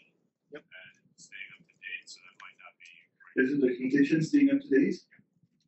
Yeah. Um, so the way things are staying up to date is usually whenever you have a pull request that comes in that has uh, impact on docs, it will be tagged as in docs or impact on docs or something. And then the docs team would know and to pick that up and start working on them.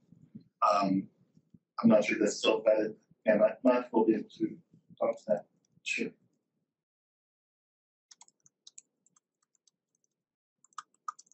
Is this helpful so far?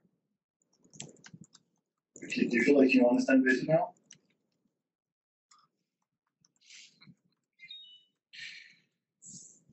Maybe you should be elsewhere right now?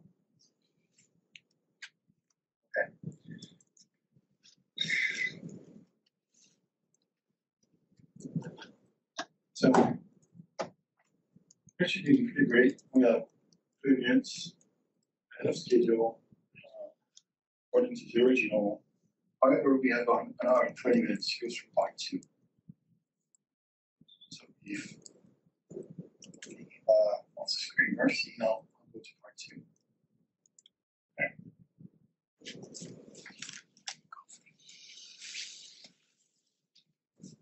Cindy Skinner, welcome. The can get those in prerequisites from there. Um, if you'd like to follow along, the Java Git Docker tools, your ID, base resources, and maybe from the quick start, which I just showed you.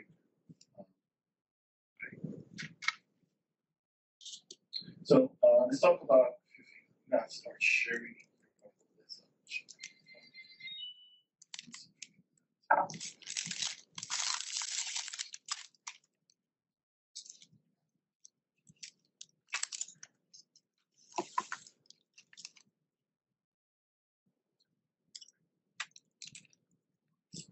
So um, first off, when we use Besu for any deployment, for new tasks and development, we have ways for you to kind of find your way around. Java has gone a long way. If you're a Java developer, you might know this. Then this is when they try things. So Besu try to kind of cut down a little bit on the toil. I mean, you know, sort of opinions about how you should format your code, what should be done about it, right? Not sure anymore. I'll, I'll get on that. Okay, sorry about that. Go. Hopefully, uh, people remote can see it. You Um, remote can't see it, you're good to go. Okay. So um, there are two tools that I used. These are not special to Besu. They're just like if you're you might be using them already. One's called Spotless, and the other one is called ErrorProne. Spotless gives you format code for you, so you don't have to. ErrorProne gives you apply a number of heuristics and checks so that you can find all the obvious errors such as not closing resources or uh, doing things certain way with streams, for example, that may have leakage. Is cool because then we cut down the reviews where just is make device stuff. So for any change you make, before you push, make sure you apply spotless apply. It will save you a little bit of uh, frustration. If you want to go deeper, you can do regular loop check, which will run error prone, also checks licenses and other things. So.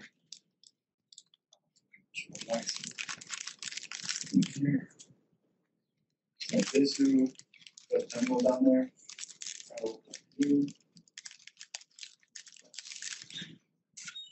You can also do a spotless check, which will just fail the line changes. So you can see um, it's running Gradle. If Gradle has been installed, we'll actually install it for you.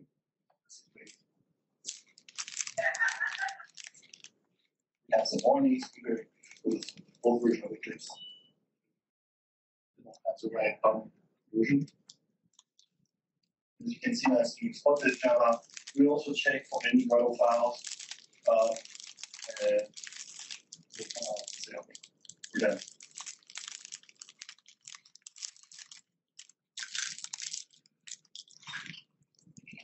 Build successful, so six seconds. Uh, you were open build a.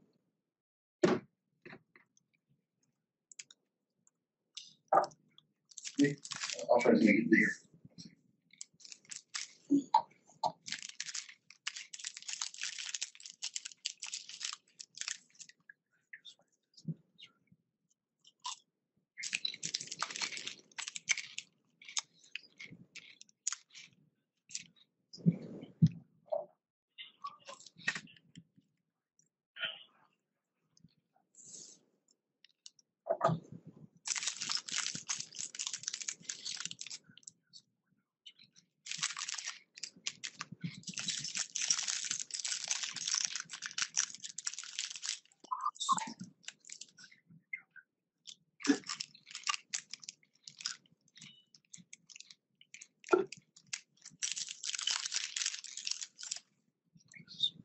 Perfect. So this is your Gradle by default.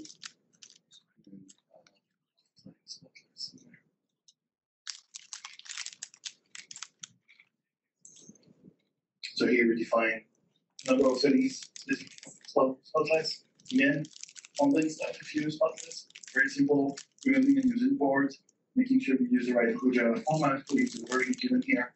We will import, uh, have some folders for your imports, remove any white space, in the new line. This is gonna save you a bunch of. I, uh, we have. Okay, so the first few project, if you don't have that, going to you to just switch from this. You Just need to pass your. Going around. Okay. So get that out of the way. Uh, let's talk about Besu itself. So Besu is a Gradle project. Let's talk about that. It's a multi-module project, is type of Gradle product that has multiple source uh, repository source directories inside the same key folder. Um, all the versions, all the dependencies are centralized in one file, which makes it much easier for us to manage both dependencies so that they are always using the same across the whole source. Ah, ah, ah, code. Should have your, uh, versions.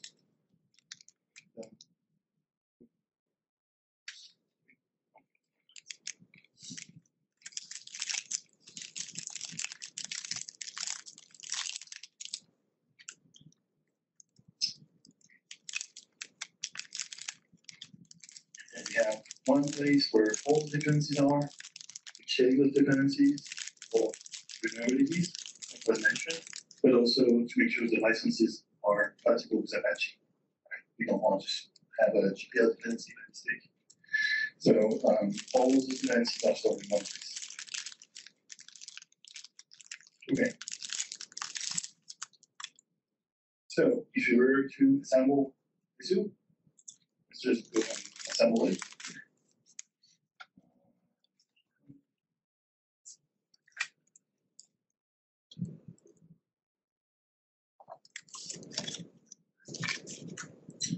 So just like we did Spotless, you go in there and do Gradle W, assemble.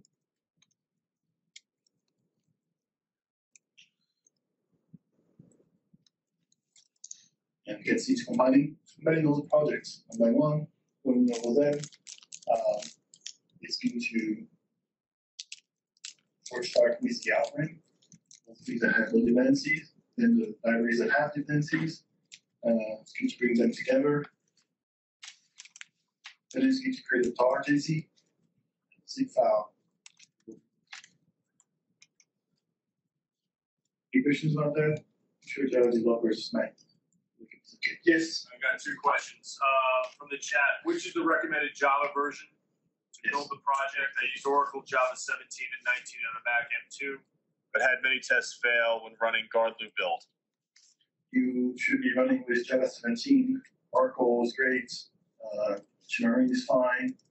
Um, we are actually using things like RLPN as well. So, but 17 is the version to use. Yeah, OpenJDK 17 is OpenJDK 17. JDK 17. Um, and the other question is when a new node, I'm sorry, when a new node joins the consortium, how do other nodes identify that they are supported as part of that consortium? How does each node's mapping, how is each node's mapping updated? So when you have the new node joining consortium, how does every other node know that this node is um, allowed to join the consortium? By default, they don't, and by default, they actually will say no. If possible, I think they have configuration that allows you to permission which nodes are allowed to peer with you, which is a good security setting.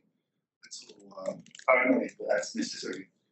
Um, so as we mentioned earlier, uh, in some setting, what you will have to do is change the configuration file on the fly to change the number of static nodes that you're allowed to peer with. Great. Yes, sir. Interesting. And that happens because I have a little cache. So one way to do that is to do a clean assemble, which then removes any cache. The issue I'm having here is around some dependencies that I'm playing with in a branch. So having a clean assemble will then do the job. So if anything wrong happens to you, you get stuck, or you have a weird issue, you can always- do Gradle W clean example, which removes all all compiled code and all binaries and all that, and then you can assemble again. one of the bad caches. Okay. So, um, the repository is made of modules. Typically, the source code needs to be under source main Java. The test under source test Java. Separately, integration test will be under source integration test Java. And so these are more listening tests. Acceptance tests, which actually run Besu, a number of Besu nodes together in consensus situations to actually create situations where nodes connect each other, you can test all the permissions, all the settings there, and reference tests which are taken after fail. So the Shane has a number of tests that make sure performance with each version of the hard forks on, on fail. So here, first project, this crypto thing here, source name Java, then you goods out there. Of the test, you actually separate them there. If you're a good developer, you might be expecting things to be the same package, but that's not the case. Good?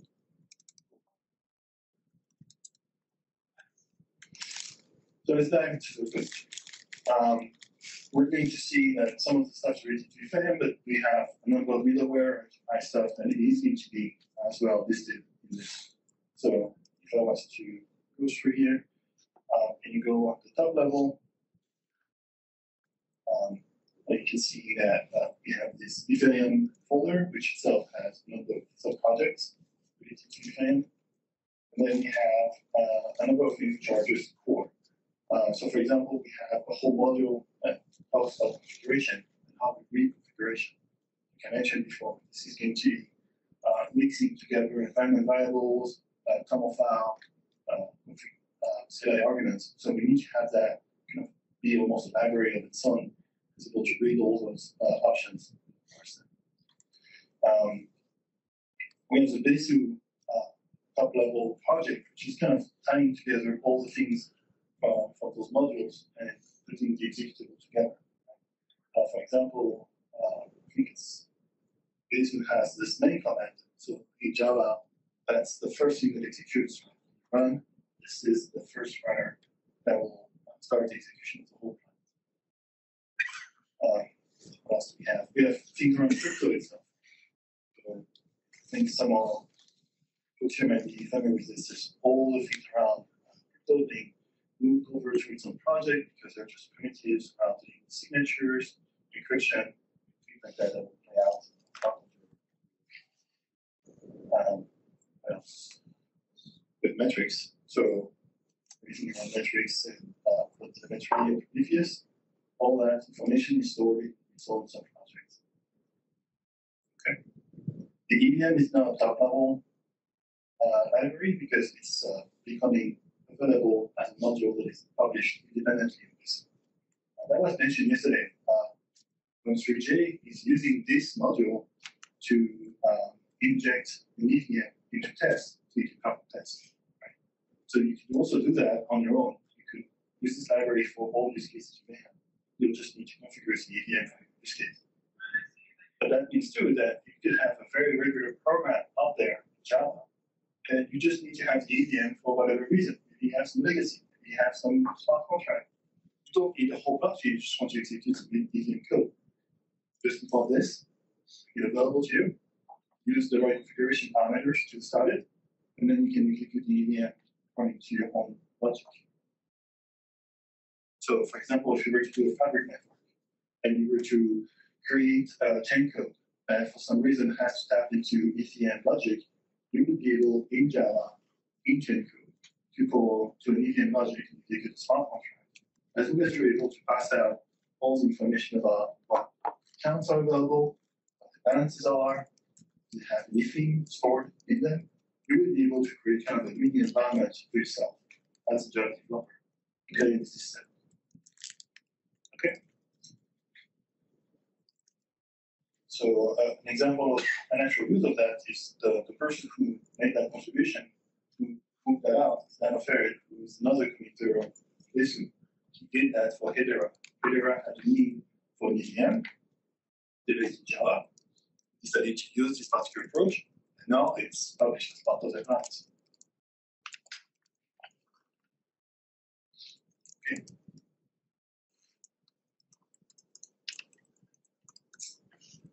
So, a very common gripe is Besu. If you're a Java developer, you've heard of Spring. And maybe you like to use Spring annotations, also some modularity like that allows you to swap components. Right? If you're not a developer, uh, let me explain. Most development out there these days is done using bricks that connect to each other over interfaces and a number of uh, dependency injection, right? That uh, then uh, kind of decorrelate a little bit the code base. But common ground with Besu is that we didn't think about it. We started, we didn't know any better, and we created a bunch of things that have no dependency injection. So I'm about to show you what happens if you don't do that in advance, and what happens you have to pass a bunch of logics around to different constructors. It's good and bad. Uh, what's really good about it is that using can really follow the path of all the models.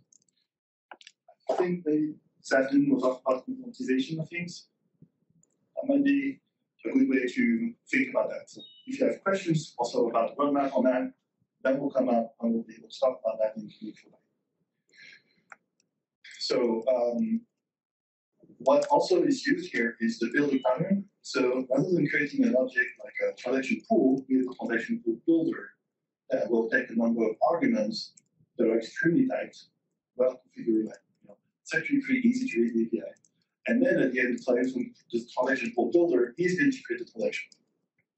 So maybe I'll put you through a couple of those. Besu controller and Besu controller builder. Um, let's do it. Okay. So this Besu controller is, you can see it's super like it's awesome. Besu controller is Besu controller. Um, is the thing that controls the whole execution of the client. So it's the top level object that contains everything that happens inside this. It has the current protocol schedule, context in which it executes, the thing related to Ethereum itself, so on top of the network, um, your Genesis config options, so if you can input the Genesis file or overread it, a command line argument, um, key, the synchronizer, which is responsible for keeping you up to date. This means you have like also batch backend protocol thinking to keep you on top of the box. Um, anything around just an obvious method on that. So how do you initiate that? Simple. Just pass all those things in, right? Okay. That's impossible. Right? If you're changing that, that's that. Um, then uh, you can get all of those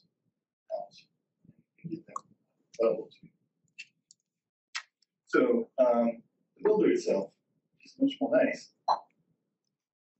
And it's better to look at it from the outline perspective. The builder is encapsulating the Besu controller, you never really have to deal with it. What it does, is that it allows you to create the, controller from the, you know, configuration, um, its Genesis config file, like that. So, Besu controller actual uh, constructor is uh, not available to the public. Right? It's not really part of the API. Builder itself is part of the API. So we use that pattern to kind of make it easier on people when they use stuff, so they don't have to pass all the domain objects one by one. Instead, we have helper methods. Think of them as static or builder uh, approaches to, to you build things. Any questions about that? Thanks so much.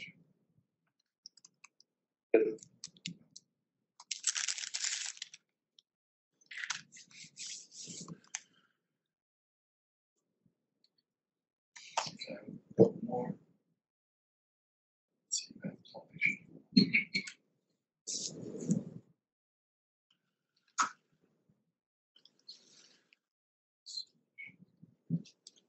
Oh.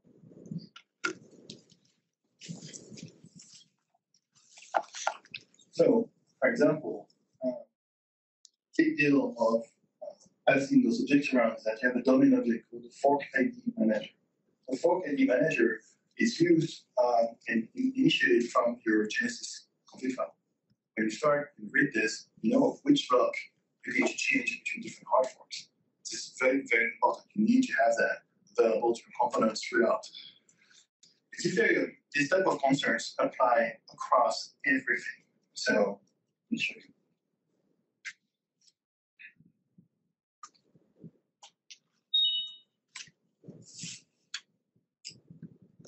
This fork ID manager has a hash Genesis, the fork ID for block numbers, and it's able to do things like uh, you know, get the fork ID for chain head, so current fork ID, get all forks, um, check this peer to see if it has the exact same set of IDs based on what they tell you. And um, yeah, it should be able to, to be to be used to that. So where is it used? It's used both in network and in the EVM itself. It's going to be used in your ETH protocol manager. It's going to be used in your discovery layer. Right? And um, used in both uh, sense. Uh, the ETH protocol manager is going rely on it.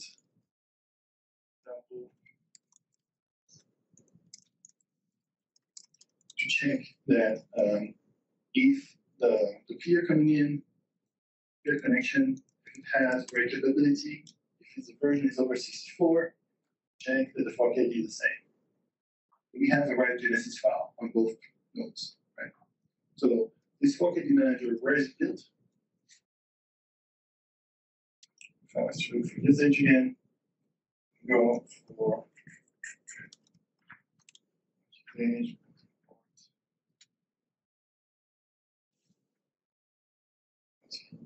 Protocol, no method, instance. We go. Test. Test, test. It's used here, transparently in the protocol manager. So this this is generated along the way as we uh, create those, those domain objects. Okay. The blockchain, no forks. This is the default behavior from legacy. Or it's supposed to be in one that has all the information you set. So this this object here to be around different components of your stack. Right? It's shared between your discovery and your peer-to-peer layer. That's just one example of what has in terms of shared concern we have to deal with.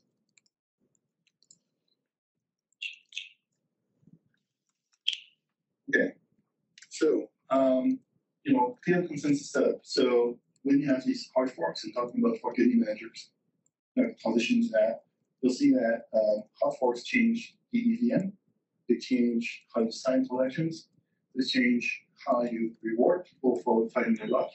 It used to be that we would bestow quite a bit of money on people and they would find the block, and then we got greedy at the time. So they were right? And eventually just not making that much money, just making money off fees, people using uh, the chain. Um, block minting changes, so we change that. Uh, transaction pool fees, speculations, and more. So I'm going to use protocol schedule to show you a little bit of that.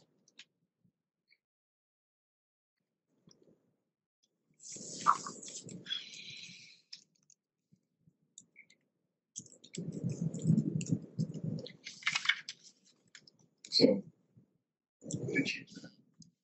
So the protocol schedule is going to apply a protocol spec according to a block number, protocol spec itself is going to have all sorts of interesting methods around what block importer we're going to use, what header functions we're going to apply, what validator we're going to use, and those validators are going to change over time.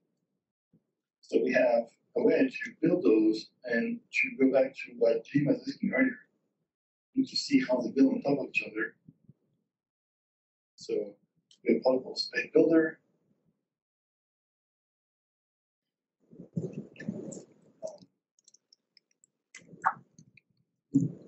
That is going to be the builder for all those specs. And it's going to take all those different uh, approaches. For example, the block rewarding way, if you find usage for this, we need to see that, uh, for example, for the key protocol schedule, the block reward is zero. And we have all this set up right, right in place to we don't, um, a bunch of, uh, elements of nothing. So your, your spec to be based on the EVM version, to validate according to what mainnet says it should be to import blocks according to what maintenance says to use. It's going to calculate difficulty according to Clique, which is going to just set everything to zero, because Clique just applies for, for Clique based on who is, uh, is a validator. And then it's going to, to use uh, Clique block header functions to run through the, the header and check the headers out. Protocol schedules as well. So if you were to look at uh, what IBFT is doing, we apply some changes here to whatever methods you're using, or we change how we validate the header based on, on what is being used, so which voter is participating. Otherwise, we will reject the block. Um, which uh, protocol spec are we using? Using one coordinate or not? So that will change a little bit the way we validate the blocks and how we link habit connections as well. Um, and uh, things coming together. So again, build a method, build a pattern, right? We are creating using builder all elements together. This is readable, is it? You can't think. Just, okay, so Readable on the screen. I can't read that from here, but it's readable on. on- There we go. This should be better. It's it's painful for me to then have to get in and out of plantation mode, but I'll take that. So we're about to create a way to identify how we're going to run with IBFT, meaning that we're going to specialize how Ethereum is going to behave according to IBFT pro- protocol, right? So we're changing things. First off, uh, the header validator is going to use the IBFT block header validator using information about secondary blocks, um, all the information in Genesis block on that. So we're going to use um, this validator. I'm going to check that the peer presenting the block, the minter, is allowed to present that according to the current epoch.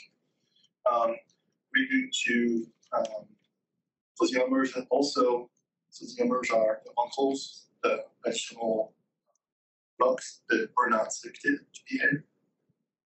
Okay.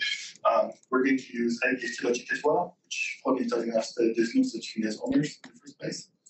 Uh, we'll use, we'll keep using mainnet block body validation. So we'll keep using the, the Ethereum public Ethereum by default, right?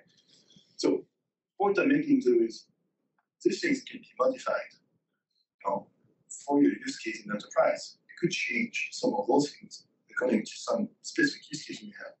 So, for example, if you were to have a different consensus algorithm, you would you would change that.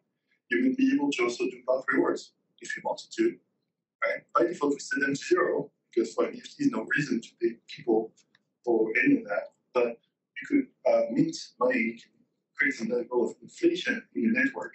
For example, how you running people? And all those toggles are available to you when you create your protocol and um, they are all important for uh, all the things you can do with, uh, with your own consensus algorithm. What's interesting is that it permeates everything you do all across from collection, signing, validation, uh, building blocks, all those things come together. So those terminologies are really important.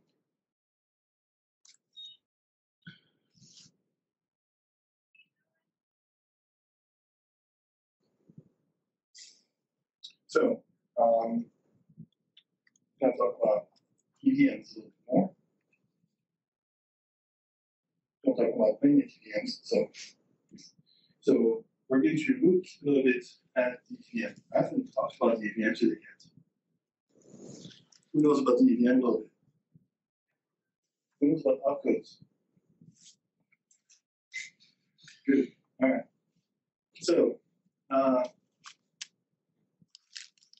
covering, I'm, I'm going to cover EVM uh, in 15 minutes. I'm a Java developer. might make sense if you're Java developer. So hang on with me, okay? Um, if you have questions about that, I'm happy to answer. So the EVM itself is a series of bytes, right? That's how the EVM instruction comes you. Um, each byte may have an opcode, and each works as the sequence of bytes uh, may be either opcodes or inputs. So if I go to Thanks.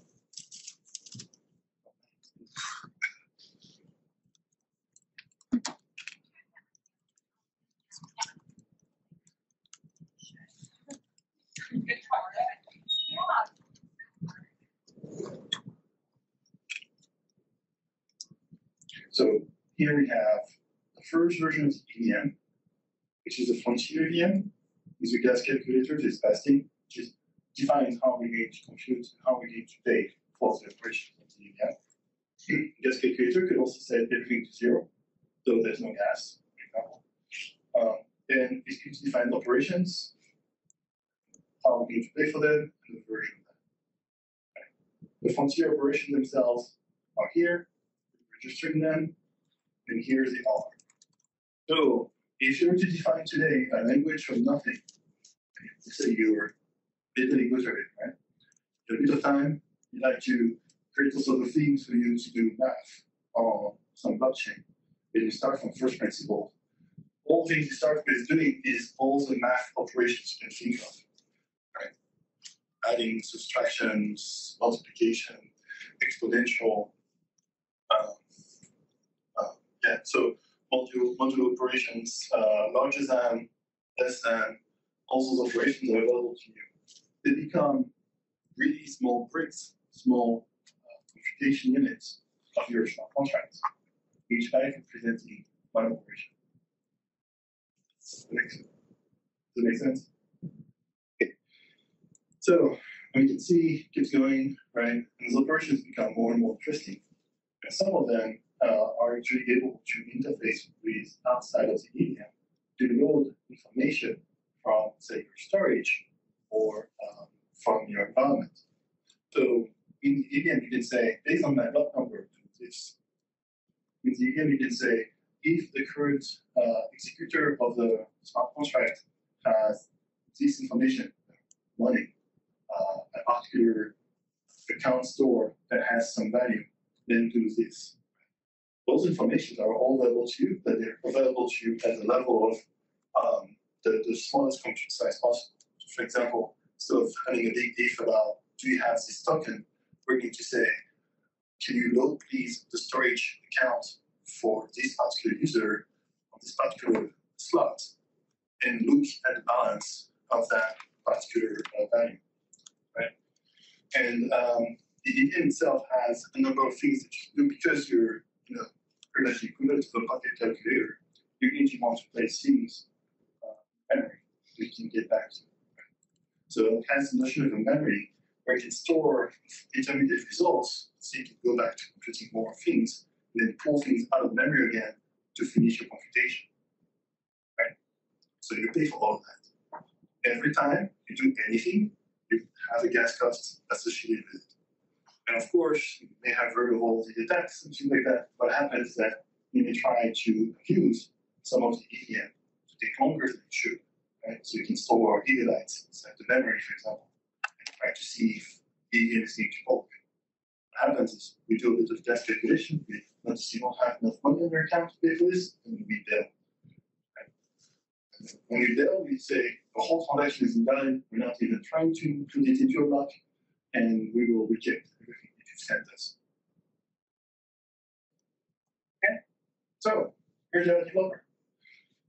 Would you like to know how we add numbers in EVM? Sure you do. So, how do we add numbers? Well, the code add is 0801, right? So, easy. Is add, consume two items in stack, we put this one item on the stack. We have a stack, right? Just like your bucket calculator, that's going to have a stack of all the elements going with. So, given that you have two big integers you in red from the stack, into uh, assign number um, positive. We're going to add them together. We're to return them to byte array. Then we need to push it on the stack. So if the length of the result of the calculation is over 32, you just overflow. Right? So in that case, um, we we will send you the offset of that. Right? We'll, remove the bytes that are over 32. Otherwise, just wrap the result uh, from those bytes into an item that you push on the stack. Okay? Now, how do you push stuff on the stack?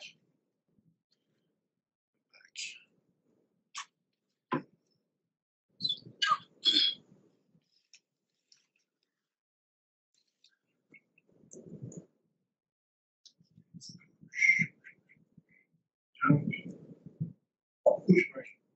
So um, you would be able to push based on what is being sent to you. So think of this as a you know, Google Telegraph. You just have like one ribbon, a series of things going, right? So you read the byte, then you read what's after the byte, read what's after the byte. So the push stack operation says, don't consume anything, reproduce one thing.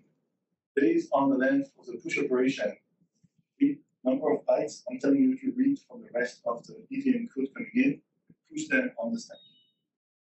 So often a program from the EVM starts with push the next three bytes, push the next four bytes, push the next five bytes. Oh, okay, we got enough on the stack. Perform this operation against this, make sure that it makes sense. So one of the things you can, you can push, for example, is the address of a person, right? That would be how you would possibly push uh, a parameter So if you're a developer, you would be able to create own web codes. If you're in the enterprise, for any reason, you decide that you want to have some meaningful change to the EVM, you may do that. However, what that means that you know, off spec with what Ethereum does by default. Then you have this uh, additional opcode that you know Ethereum look at. No sense. So maybe that's actually great. You know, of your code can make it to mainnet now. So that's safe, right? A way. Uh, so we've seen we've seen people back in 2018 that make changes to TVM so they would add their own uploads, for example. Uh, if you ask different developers who you know project for Genome, they can read EVM code, and it's painful to watch. Uh, managed to do that a couple times. It's fun. Um, so you end up having like, you know, which byte is what up, and then you can read through this. It will be useful for you. You need to have a little bit of uh, knowledge about that. So there's some utilities out there, like there's an EVM executable from Geth that you can run, you can give it the uh, whole execution of your code, and it will tell you exactly what operation are being run one by one, and what the stack and memories are for each of those steps. Very useful if you're on something that makes no sense you don't get there. As a Java developer, you also decide that you just to have a breakpoint. So you load this Java code, execute a unit test using Web3j, and right away, let's see what the situation is. And maybe something is missing the stack. Maybe your memory is not. You'll be able to actually infer that uh, looking at the situation.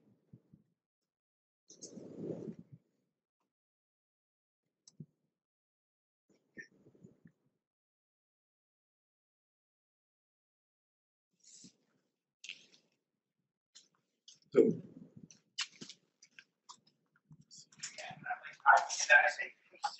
going back to, the mainnet EVMs.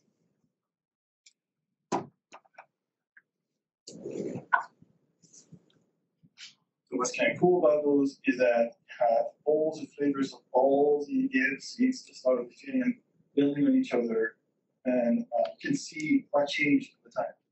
What had to change. The first one is Frontier. It's cute works. I Just showed you all the operations in Frontier. There's quite a few. And there's Homestead. Homestead, same setup. Homestead operations have registers. It just adds one more dedicated one. It's kind of cool because now in Java you can actually see what's going on at the spec level of engineering. This was hotly debated by people and data others, how they can change the protocol over time. Now we keep going. Spurious Dragon. Spurious Dragon is using the exact same definition as Homestead. Because there's no change to the EVM in its operations. But it's using a different gas calculator because what they discovered that some of the operations were mispriced. And people were starting to DDoS things by you know, sending the the message. So they had to change the gas calculator for that. Then Tangerine Whistle had to do the exact same thing, change the gas calculator, make things more expensive or less expensive in places to encourage different behaviors of people. And Byzantium. So Byzantium here has its own method, but some operations. It's registering its own operations, it's registering return data, return data size, revert, and static. So quite interesting additional things. And so to go back to the example I was giving earlier, when you say London block is zero, you can go straight to London hard fork, you need to see how they build up on each other and how all the operations which were added throughout now become possible to that's possible in London. So Napoli, Petersburg, Istanbul, Istanbul House, Self store, Berlin, and London. So London has its own disk calculator. It has its own operations. What it did is it, it added the, the base fee operation, which was new to price transactions. So what was interesting is that for to make sure that people could build on top of the end of the Ethereum, all those changes to consensus were then made available so you could call base fee in your contract and make choices based on what the base is. So for example, you could say, hey, the base fee is over this much, cancel. Do not run this foundation. This foundation can't run, it's too expensive today. It's not good. Kind of cool, right? So this uh, pretty much the consensus layer becomes available to you as a smart contract developer to make more intelligent calls on what is should be done around your, your execution. So that's the thinking here, right? We got a couple more Paris, and I think we had Shanghai most recently, which, which is international operations.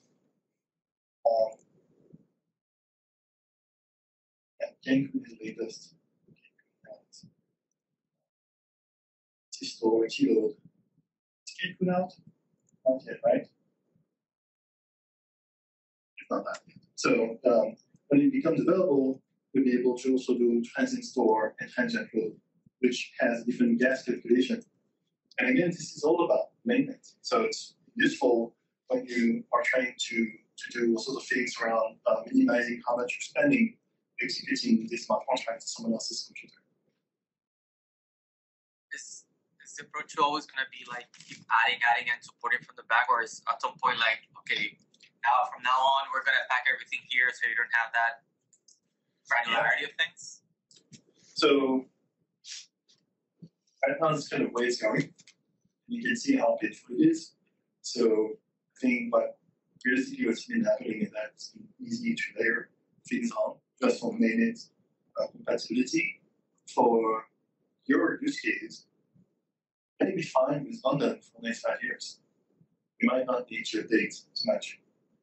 I also think in many may it may make sense for you to start configuring things at a much more uh, granular level down the road, where you might want to get some of those possibilities. So this mainnet EVMs, for example, also has a counterpart for Ethereum Classic. Ethereum Classic went about things a different way, right? And they have their own hard forks. So it would be totally doable for someone to say, you know what, we in our company Uh, have decided to customize Besu for use case, and we're going to create all sorts of code ourselves. We're going to do a bunch of different things. We're going to have zero gas calculation, for example. The fee will be free. Therefore, I can let go of a bunch of those assumptions that we have to make for mainnet, and you'll be able then to create your own registry of operations that may behave differently, and in your own distribution has a different impact on you. I want to show you that this is not hard coded, this is composable, and you may be as a Java developer in a situation where you may be able to change things however you want.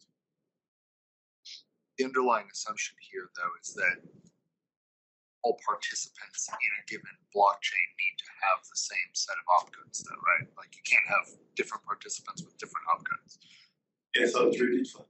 The underlying assumption is that all participants have the same setup, the same opcodes, the same validation. Yes. Painful. What what steps are taken to on the chain to ensure that that's actually true? So, like, if I try to, if I have a, a, a chain that has a certain set of, of opcodes, whatever, assume Ethereum, like default, right? Mhm. Um, if I try to join that chain an EVM that has some other set of opcodes, is there any kind of validation that, Well, that I have the correct set? Yes and no. So the, the way we do it right now is that we have IDs, which are going to be stored in your Genesis file that activate a certain number. And you could say that looking at the IDs during the exchange of status, we check that you behave the same way. Um, but we've had a bug, like even in mainnet between parity and Geth. Back in 2018, we implemented a refund operation in EVM. And um, the parity folks were using Rust. Rust is pretty strong about signed versus unsigned behaviors. They're using unsigned as refunds. For the first time ever, there's some subtle changes to refunds to be negative. We had a consensus bug. All the parity nodes started going their own way and only accepting blocks that were being mined by parity nodes. All the Geth nodes are going their own way, only accepting blocks mined by Geth. So it's really difficult when you have multiple clients and to agree. Even if you have the same client, if you have different versions, you may be in for a surprise. So you, you have to maintain the Genesis file, make sure it's up to date, and the hard forks are listed properly, and also we have to have the same version of things. Otherwise, there may be some breakage. Consensus layers, just precedents. Right? We can't can't have half compatibility. Wouldn't you also have to uh, make changes in like your uh, um, smart contract compiler, like Solidity or something, to take advantage of the new opcodes or the behavior? Yes. Yeah, so the, the, the version of Solidity will define how you compile down to code. Right? So Solidity itself is like this pseudo JavaScript. Um, maybe you made a little bit of Solidity and you see that you can do assembly level stuff sometimes. And when you do assembly level, it's kind of cool because you actually go back to opcodes and you do some Lisp version of those opcodes where it's like push, push, pop, add, like that. It's useful because you're trying to reduce the amount of code you need to generate by being uh, you know, hazy with it, telling exactly what outputs you want to see. But it's also dangerous because sometimes you, you may not be guarded against things that otherwise Solidity is able to generate. So what Solidity does, it just like TypeScript to JavaScript, it's going to take your JavaScript bytecode and output bytes that represent the information. With new opcodes, um, a new version of Solidity, we will be able to generate better, more performant opcodes using the new opcodes that you give. So the, Solid- the version of Solidity must be in tune with the hard fork you're using so that you don't fall for an opcode that does not exist in your version.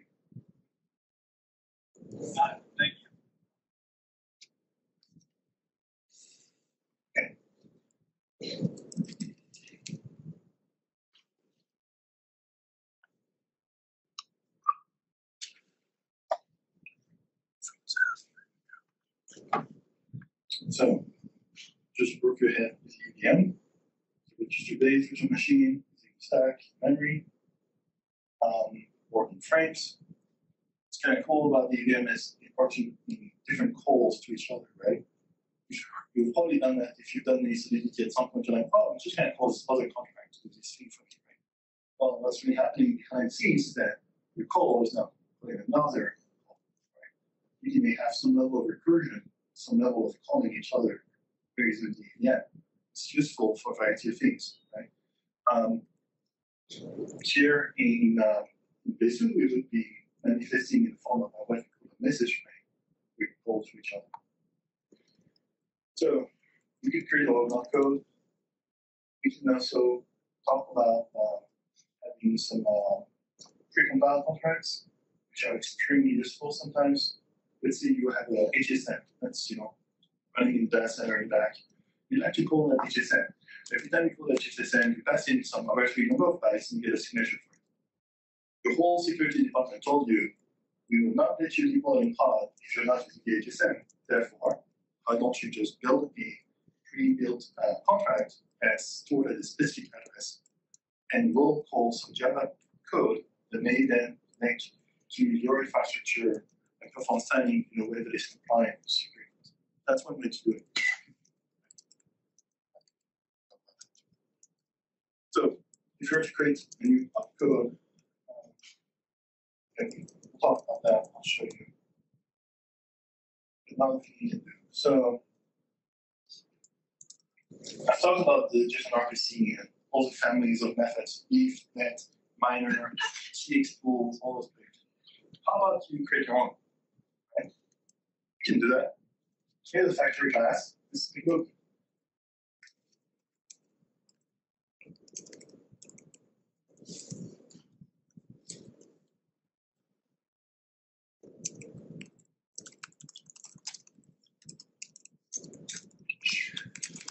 So um, this is going to generate methods for based on the information that's are all the domain objects that you like to have.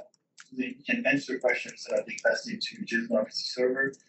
And here we are creating all different families of JSON RPC methods. So admin, I mentioned that earlier. This is going to be all methods for admin, debug, EDA, uh, EL, execution engine, eth. So eth is the kind of the fullest of all, right? It's going to get you all the methods you like to call. What's kind of cool here is let's say eth bug number is going to pass, you going to give it the domain object that allows you to create a blockchain, but it's just a little single object. So if you wanted, you can create your own version of this.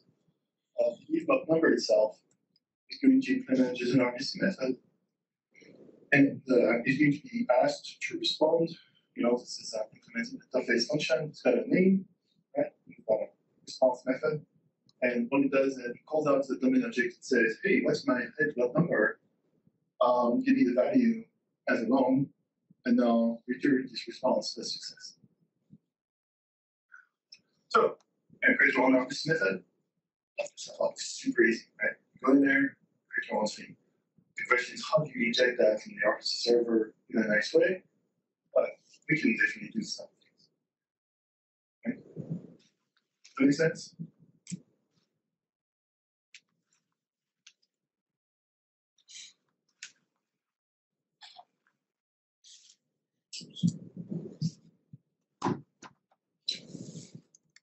So, um, I have an exercise that I've used, which is we're going to create a new opcode we need to tie it up to our Democracy server.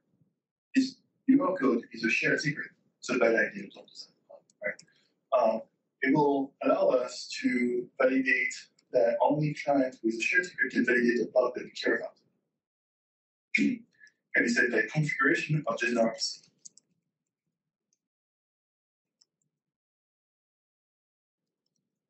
Another we're going to have is um, variable opcode for, for this.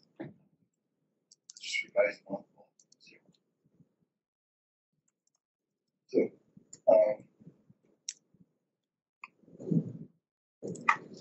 so I have, I'm going to cheat a little bit here. I'm going to show you the result.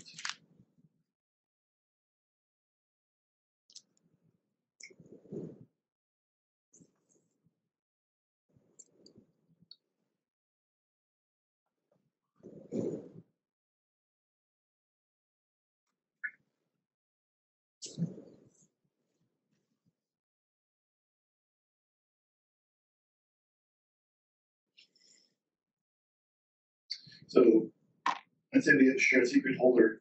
We can mention this is domain object, right? So you can pass it into um, your your run builder, and it's going to go down then um, and participate in the JSON RPC factory. So this new share secret holder is just similar than um, and when you pass in the EVM configuration, we'll be able to pass it down as well. Um, we can set its initial value based on what has been passed in through our unstable EVM option, which are hidden flags, right? Uh, to set the initial value when it starts. So um, the EVM partial configuration will have our initial shared secret. We'll pass that in, we'll pass it into our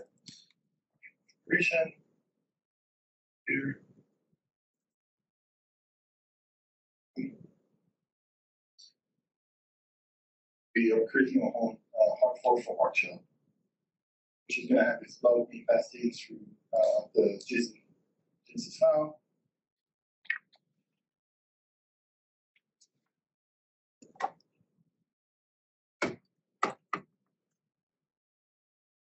Be able to have that. Just the test. We created our own uh, RPC method. It a name, if set short secret. and uh, we will create our own JSON RPC method, just like I showed you. That will allow us to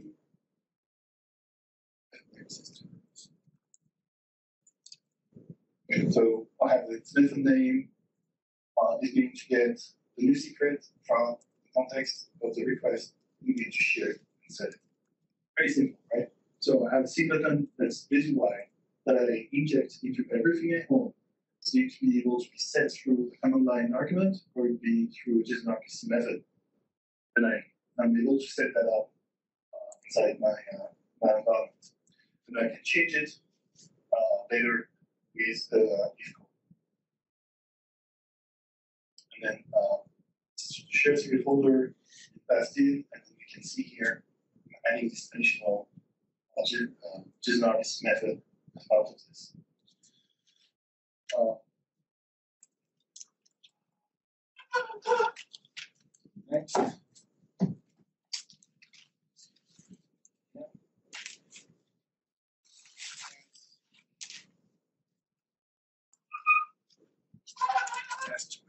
Okay. Just have here. So now we're passing our own overall spec builder where uh, we're going to have partial definition. We're going to create one version using our own mainnet for EVM for workshop. Some folder, just simple things.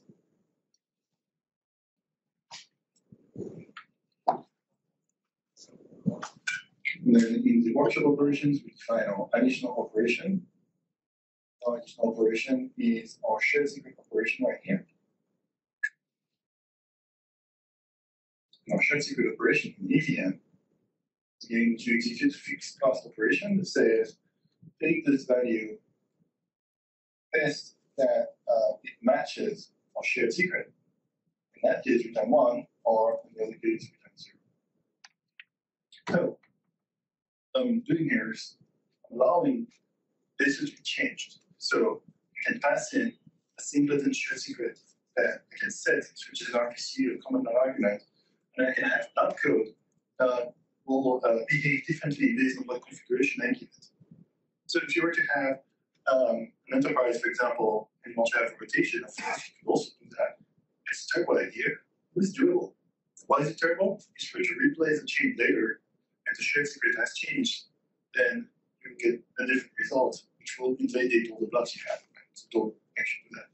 But it shows you the extensibility of the approach that you can take.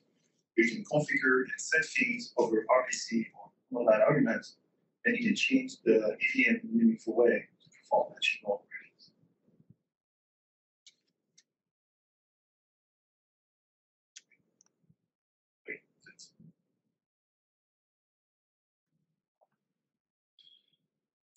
Um,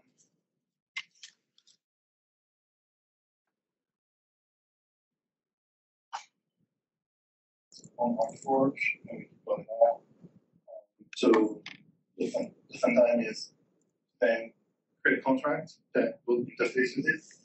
Um, this is a bit of Kotlin code from another project I have that generates the bytecodes for us using our custom shared secret, which is 0xf6 as a on code.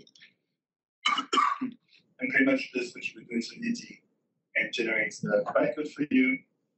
And you can develop it, you can deploy the development wrapper, that's the arguments into it, sign that, and send it to, to Basin. So this is one way.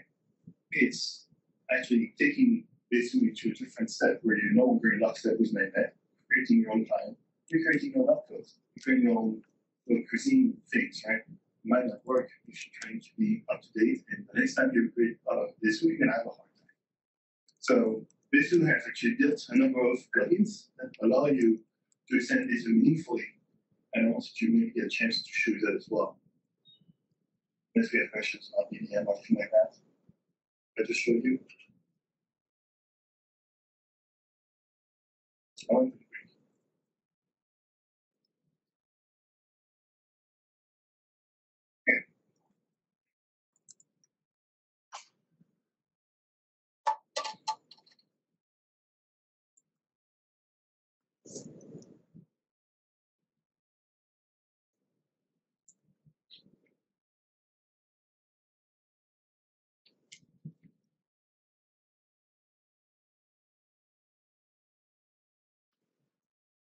So uh, business ways to, to deal with plugins. There's a plugin API allows you to do all sorts of interesting things, creating your own data.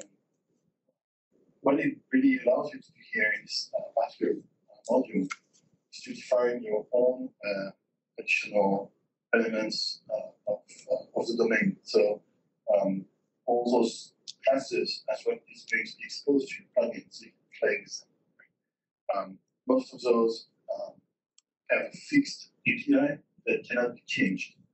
Um, if you change any of the classes in here, if you look at the top of this plugin API, we have a hash that computes.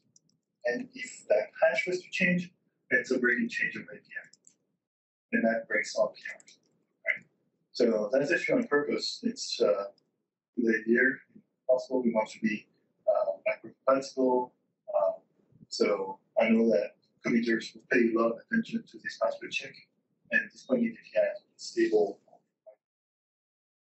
So that allows you to play with elements inside this, for example, uh, log body, uh, hash logs, uh, uh, collections, um, collection receipts, like that. And um, allows you then to perform additional things. Uh, so you can swap in your own service, um, can do one plugin RPC request, right? So you can create additional elements uh, for you to, build and extend this meaningfully at the at the edge. Um, another thing you can do here is that uh, kind of plugins, we have a plugin for RTD. So RTD is the storage of choice for Bism, right? Uh, it's stored on disk. It's, uh, as you know, it's a C uh, based project. Uh, we interface with the JNI, low level. Uh, there's a level of action. There's some good uh, discussions on, the merits of it from a standpoint and how you can configure it uh, according to what Geth is using. So, for example, are you going to compact every two megabytes or? But in my case, uh, what I want you to do is to swap RocksDB for something else, right? Um, so you can see Parsec itself is the plugin. And uh, it will take some options, which is kind of cool. Because for case of this plugin, you actually get it configuration. You make it do things for you. Um, and it's going to be registering itself as a way to do key value storage. Because that's what Varsity is at the end of the day. It's just bytes in as keys, So um, what I want you to do is to try to use a different project for for starting all the sites.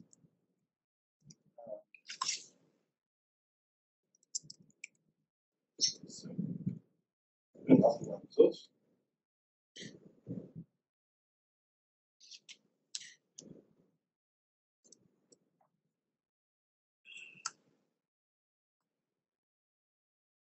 So you might not be um, eligible about Infinispan, which is fine for this organization. What I want to show you is it's possible for you to extend meaningfully this to maybe even swap on stored data on this, which is good news. If you were to have an Oracle shell, for example, and it has to be in an Oracle database, that tells you this you could run on top of it. Performance wise, sure you get better boost, but hey, you know, that's how it's that's the run safety possible. So uh, this defines another plugin called Infinispan. Defines the Infinispan plugin. It just shows the RocksDB plugin.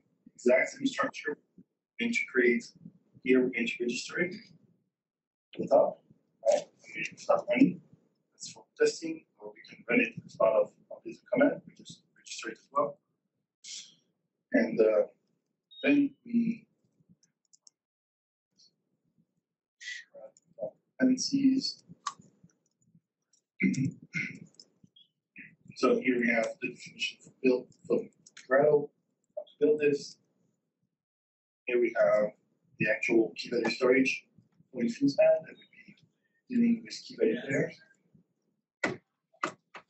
And then you have the, the factory here, which allows you to create a key value storage. So just like you would with uh, RocksDB, this allows you to change the key storage mechanism for uh, this. Right?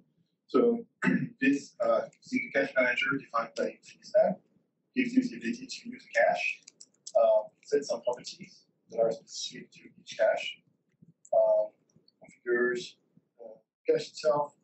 In that case, for example, saying, hey, uh, store things inside the data folder, um, store expired uh, information, which those two caches together inside the expired folder, some compression, some cache size, some block size, all those things are specific to that initial stuff and this. What's kind of cool is that Infinispan itself is just a layer around uh. So allows you to apply a level of caching and uh, in-memory optimization. So instead of going to this all the time to ask for values, this thing is maximally using the to uh, buffer a little bit. The other thing it does is uh, by default, async here, which is an option. Um, it will have a thread to write to disk can alter the writes, so you're not constantly looking for your item. So, uh, probably true. All those things are just to comply with the key value storage factory and your plugin itself is a copy of what's available by default for, for plugins. It registers a factory here. So you get a global configuration, create your factories, register key factory, key value for privacy as well. Good to go. There's some options. So you can pass in you know, all sorts of options about the, the cache size you like for RocksDB inside the Infinispan, uh, number of threads, background, all the things that you like to tune in when you're an operations person to really see if you can squeeze like five percent more out of your disk so you can get over 100 TPS, for example. All those become available to you. Um, and then the configuration itself is just the, the domain object configuration right from the CI and some tests. This is that simple. You create plugins that allow this to, to behave completely differently. We're using it Infinispan. You could be using Cassandra. You could be using a relational database you could be using uh, flat files, right? So there's a wealth of options here. This opens up also this discussion this afternoon goes to roadmap about how basically can be made composable, extensible, has the ability to change itself to fine tune for high TPS or maybe to you know just play around and give you options you may not have otherwise uh,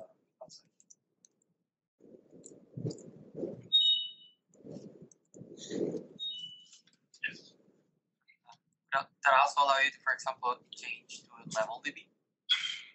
Yeah, you could change your level DBTs approach. Absolutely. Do you think that makes performance improvements No, versus it's- Rock DB or not really? No, I think uh, RocksDB has surpassed Levels DB and Kimono. We've tried it. It's they use it in Teku for the consensus layer. It's the problem is it's like not as it's not maintained the database DB. So that's why we stuck with rocks. And the recent performance improvements are make a kind of negligible difference. Yeah, You could you could do the same. Thing. Yeah, so you do for people outside, so they, they tried Level DB, it didn't really get them the boost, and the latest performance uh, improvements for rocks RocksDB make it much more worthwhile to stick with it. Yeah.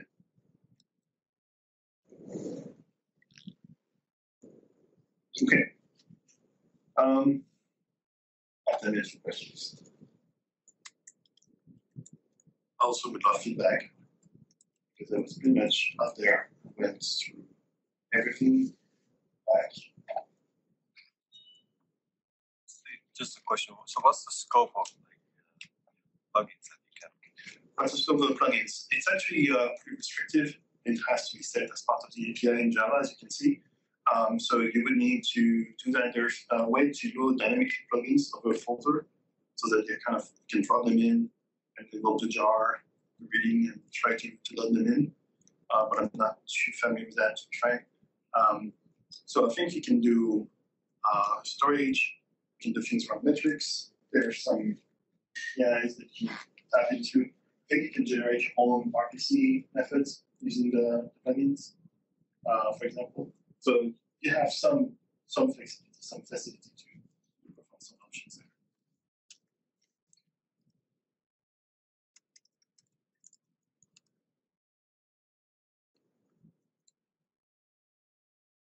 This is clear.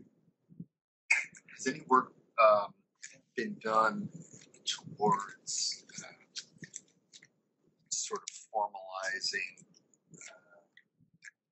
any kind of collapsing of individual operation, so of, of, of multiple operations into into simpler, lower cost from a gas perspective? So your question is, is there work towards standardizing multiple operations into a group of operations to kind of cascade down the cost, the cost or do it? I don't, I don't think that's been done at this level. Maybe the Solidity folks would be happy to have the discussion because they are constantly tweaking how that generates some code. I'm just thinking about like, in particular, data loading, data data storage, Yeah. repeated loads, repeated stores might. Well, when you load the first time, it costs more. Every subsequent load is, is cheaper. So there's warm and cold costs in the EVM, uh, and they're constantly tweaking. To Antoine's point, like what is considered warm, what is cold. Shanghai has some changes too to this. Again, I guess you're kind of bound by the protocol, right? So like, you can't you can't have a different cost on base over. You could. It's just why bother to break compatibility? If you're running a private network that has a gas cost, you can delineate the gas and the cost that you want anyway. Like you can kind of charge those fees. I mean, I imagine there's ways you could write a smart contract to batch workflow within Yeah. a single transaction. That's gonna, you know, let you do that, but you, the problem, the data load is you're, if you're batching a bunch of them, your, your data set isn't gonna be synchronized across transactions that think they've completed that didn't load. And afterwards, you're in this weird space where like, I believe in A, but A hasn't, yeah, A hasn't loaded yet. Yeah, so what we're is there's there are ways to batch or to operate your smart contract in a that will um, optimize your gas usage. it's called gas golfing. There's some Twitter threads about that where people like you know trying to up another about the best way to load things. It goes also to my discussion earlier. When you do a transaction, inside that transaction, the gas cost will change based on what is warm, what is cold. If you have 10 transactions and they end up loading the same storage card, the same storage uh, slot over and over again, you're paying a bunch of gas for nothing. You much rather have one transaction that calls out and does a number of things together as much as possible. So you can reduce the amount of work that you're having to do. And that might change again in next fork after this. There's transient data storage between calls. Wow, stay tuned. Yeah. Uh, it's, it's been a it's been a journey. So the the all the discussions around gas costs extremely intricate and end up about you know going down to the economics by looking at the activity on mainnet, for example, and seeing what people are doing. Uh, we saw some. I know that there's some discussion at some point where folks realize that destroying their contract and rebuilding it repeatedly inside one transaction will actually give, give them some gains.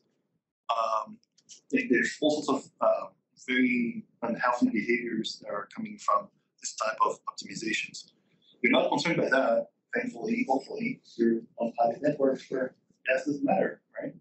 Um, but that is, to some extent, like some of the difficulties, some of the decisions that are being made, that will impact you will come from mainnet. And mainnet is constantly fine tuning those parameters you should be aware that uh, there will continue to be improvements around those particular elements. It's just a fact of life. Yeah. One of the annoying thing with death borrow is to disk. So if the goes away and one crystal shut down, roll back to hundred thousand blocks. Is does Besu have the same problem? So you're saying that one of the biggest annoyances with Geth Quorum, the case that the storage itself is stored hard like on disk and may be corrupt if you were to uh, no, It's the the node builds in memory state. Oh. In memory. Yeah.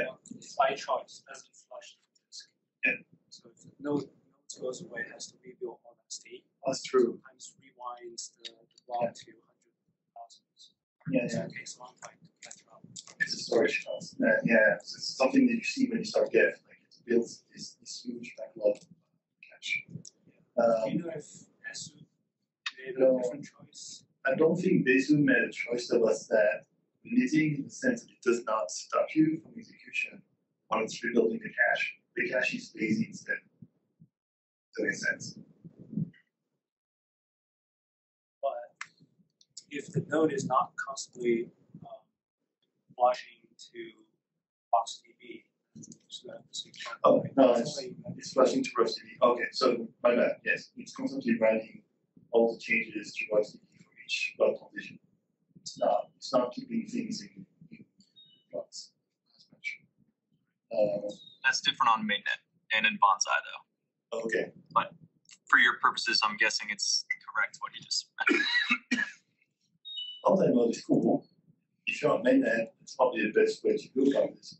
So all the time, your storage need to kind of grow and keep growing, right? You have a key on your store, so keys present the current storage slots and like that, but based on the activity, some of those keys are no longer used. Some of this data is not owned, right? So Monday is able to track what data slots can be freed all the time to keep the storage requirement of basic almost just linear instead of exponential. So another related question, since you mentioned Bonsai, is it possible to run the archive and still turn on? Oh no, because so the archive node mechanism consists of keeping every well condition value of every state's value at the time. So that's actually a very good use case that I had to do with Splunk, right? So someone's going to come and say, uh, back two years ago, I'd like to know how much money I had. And I'd like to, so they're going to make a JSON RPC code that says, you know, give me balance at blocks per minute. If you have an archive node, then you get a copy of all the values of that blockchain all the time across, and you'll be able to answer that. But most chains will, you know, try to let go of this old data because it's too expensive to keep around. Copying. I mean, You, you can do it. There's just you're taking a CPU hit versus a storage hit. When you have an archive node that's using Bonsai, you'd have to recreate the state all the way back. And there's like a maximum number of layers that we load. That's you can parameterize yourself. And if you make it like, I don't know what would happen if you made it 16 million blocks to like go back to Genesis, but it would have to use the trie log and create the differential between the current world state and the previous world state, which is just at that point not useful. Um, At least tries. yeah, it's like it's like really small. The numbers are good, but it's only good on paper because there's to recreate the state would be so costly that you'd rather just run a forest node. Yeah, that was my assumption, but I think the documentation was pretty confusing. Um, Yeah. we Configuration for our is turned on. I mean, to be clear, the computation, so you're saying for everybody else, the computation of bonsai nodes and how bonsai works is confusing. But I would even complement that by saying that the computation of what an archive node is or a full node is confusing and still to this day if you're a different developer, just ask them what's an archive node has, you know, you have a half an hour in front of you